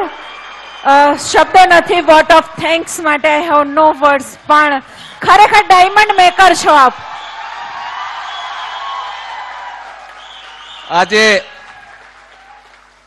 તેરમો મોટેશનલ પ્રોગ્રામ છે. બધા જ પ્રોગ્રામો સારા ગયા છે. બધા જ વક્તાઓ સારા હતા, એમ કહી શકાય. પરંતુ તેરનો આંકડો ખૂબ શુકનિયાળ નીવડ્યો છે આપણા માટે. અને ખરેખર, હું પણ આજે સ્નેહભાઈ પાસેથી શીખણું શીખ્યો છું. હું પણ કંઈક ભૂલતો હતો હું પણ થોડોક આળસ કરતો હતો ક્યાંય. મારું લક્ષ્ય આપશો એ તમે જાણો છો વારંવાર કહેવાની જરૂર નથી, પરંતુ લક્ષને ક્યાંક થોડું થોડું ધીમું ધીમું ચાલતો હતો એ પણ હું ઊર્જા, ઉમંગ, ઉત્સાહ અને ઉમળકા સાથે ફરીને પાછો તાજો થઈને, માજો થઈને, એના માટે સાહેબ કહેવાય છે કાઠિયાવાડી લેંગ્વેજની અંદર, ભાષાની અંદર, કે પાટું મારીને પાણી કાઢે. માથું મારીને માગ કરે પથ્થરની પથારી કરે એને સફળતા વરે.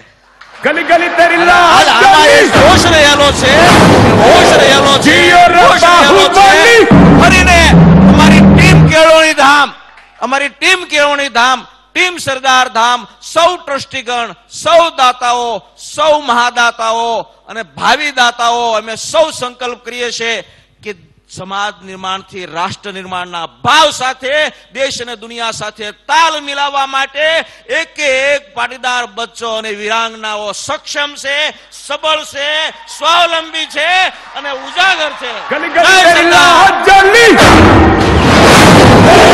જીઓ જય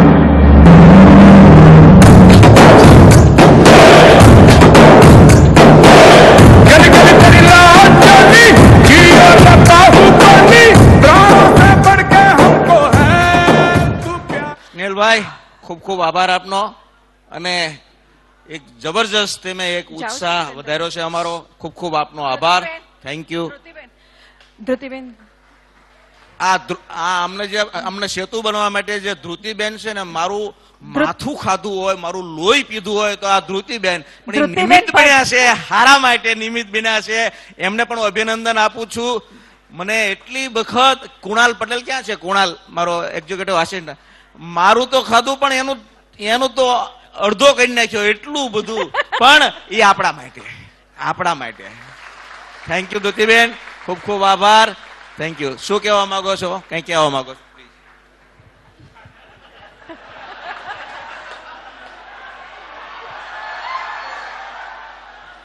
તમે અને સર અહીંયા હો, પછી મારે શું કહેવાનું રહે? તમે આટલું બધું કરી રહ્યા છો, બસ આજ આગળ વધતું રહે. અને તમારા આશીર્વાદ મળતા રહે. જય સરદાર. ધૃતિબેન સ્નેહ દેસાઈ અને સાહેબ સૌ કોઈનો આભાર. હા જાગૃતિબેન આપનો પણ આભાર છે ખૂબ ખૂબ. અને ખૂબ દિલથી તમે જે મહેનત કરો છો અને મોટ- આપણા બાળકોને જોડવા માટે પ્રયાસ કરો છો આપને પણ અભિનંદન છે. યુવક મંડળના અમારા સૌ આયોજક મિત્રોને અભિનંદન છે. ઓફિસ બેરરને પણ એટલું અભિનંદન છે કે મે- સાહેબ અમારે આ હજાર લોકોનો કાર્યક્રમ કરવાનો હોય કે બે હજારનો, ખાલી ચાર કે છ કલાક કહેવું પડતું એટલું કાફી, એટલું બધા, જેને કહેવાય ને, એક એક ખાલી એક શબ્દ કહેવાનો હોય ત્યારે આપણને મને પોતાને એમ થાય છે, ક્યારેક ક્યારેક હું આ લોકો ઉપર જુલમ કરું છું. પણ એમ લાગે કે આપણા માટે કરીએ છીએ, બાળકો માટે, વિદ્યાર્થીઓ માટે કરીએ છીએ, ત્યારે ખુશી થાય છે. ખૂબ ખૂબ આપનો આભાર. આપને કંઈ કહેવું છે આ માટે? મેં તો એને ખાનગી જે, સાહેબ, મેં આ મારી તો ટેવ છે એ જાય નહીં હું કરું? મેં એમ કીધું કે તમારે હવે વારંવાર અહીંયા આવવાનું છે. આ આપણું કેવણી ધામ છે.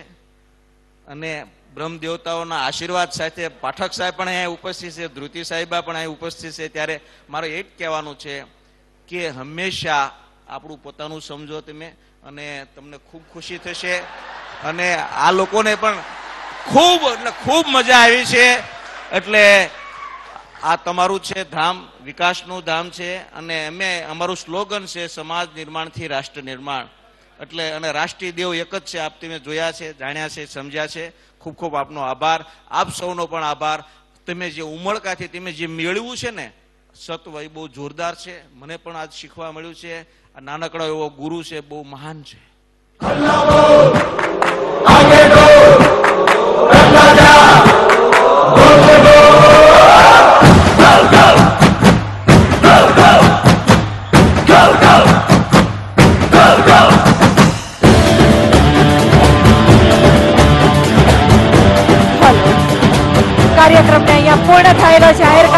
સૌ કોઈનો આભાર. જય હિન્દ, ભારત માતા કી જય, વંદે માતરમ. કાર્યક્રમ પૂર્ણ થયેલો જાહેર કરું છું અહીંયા.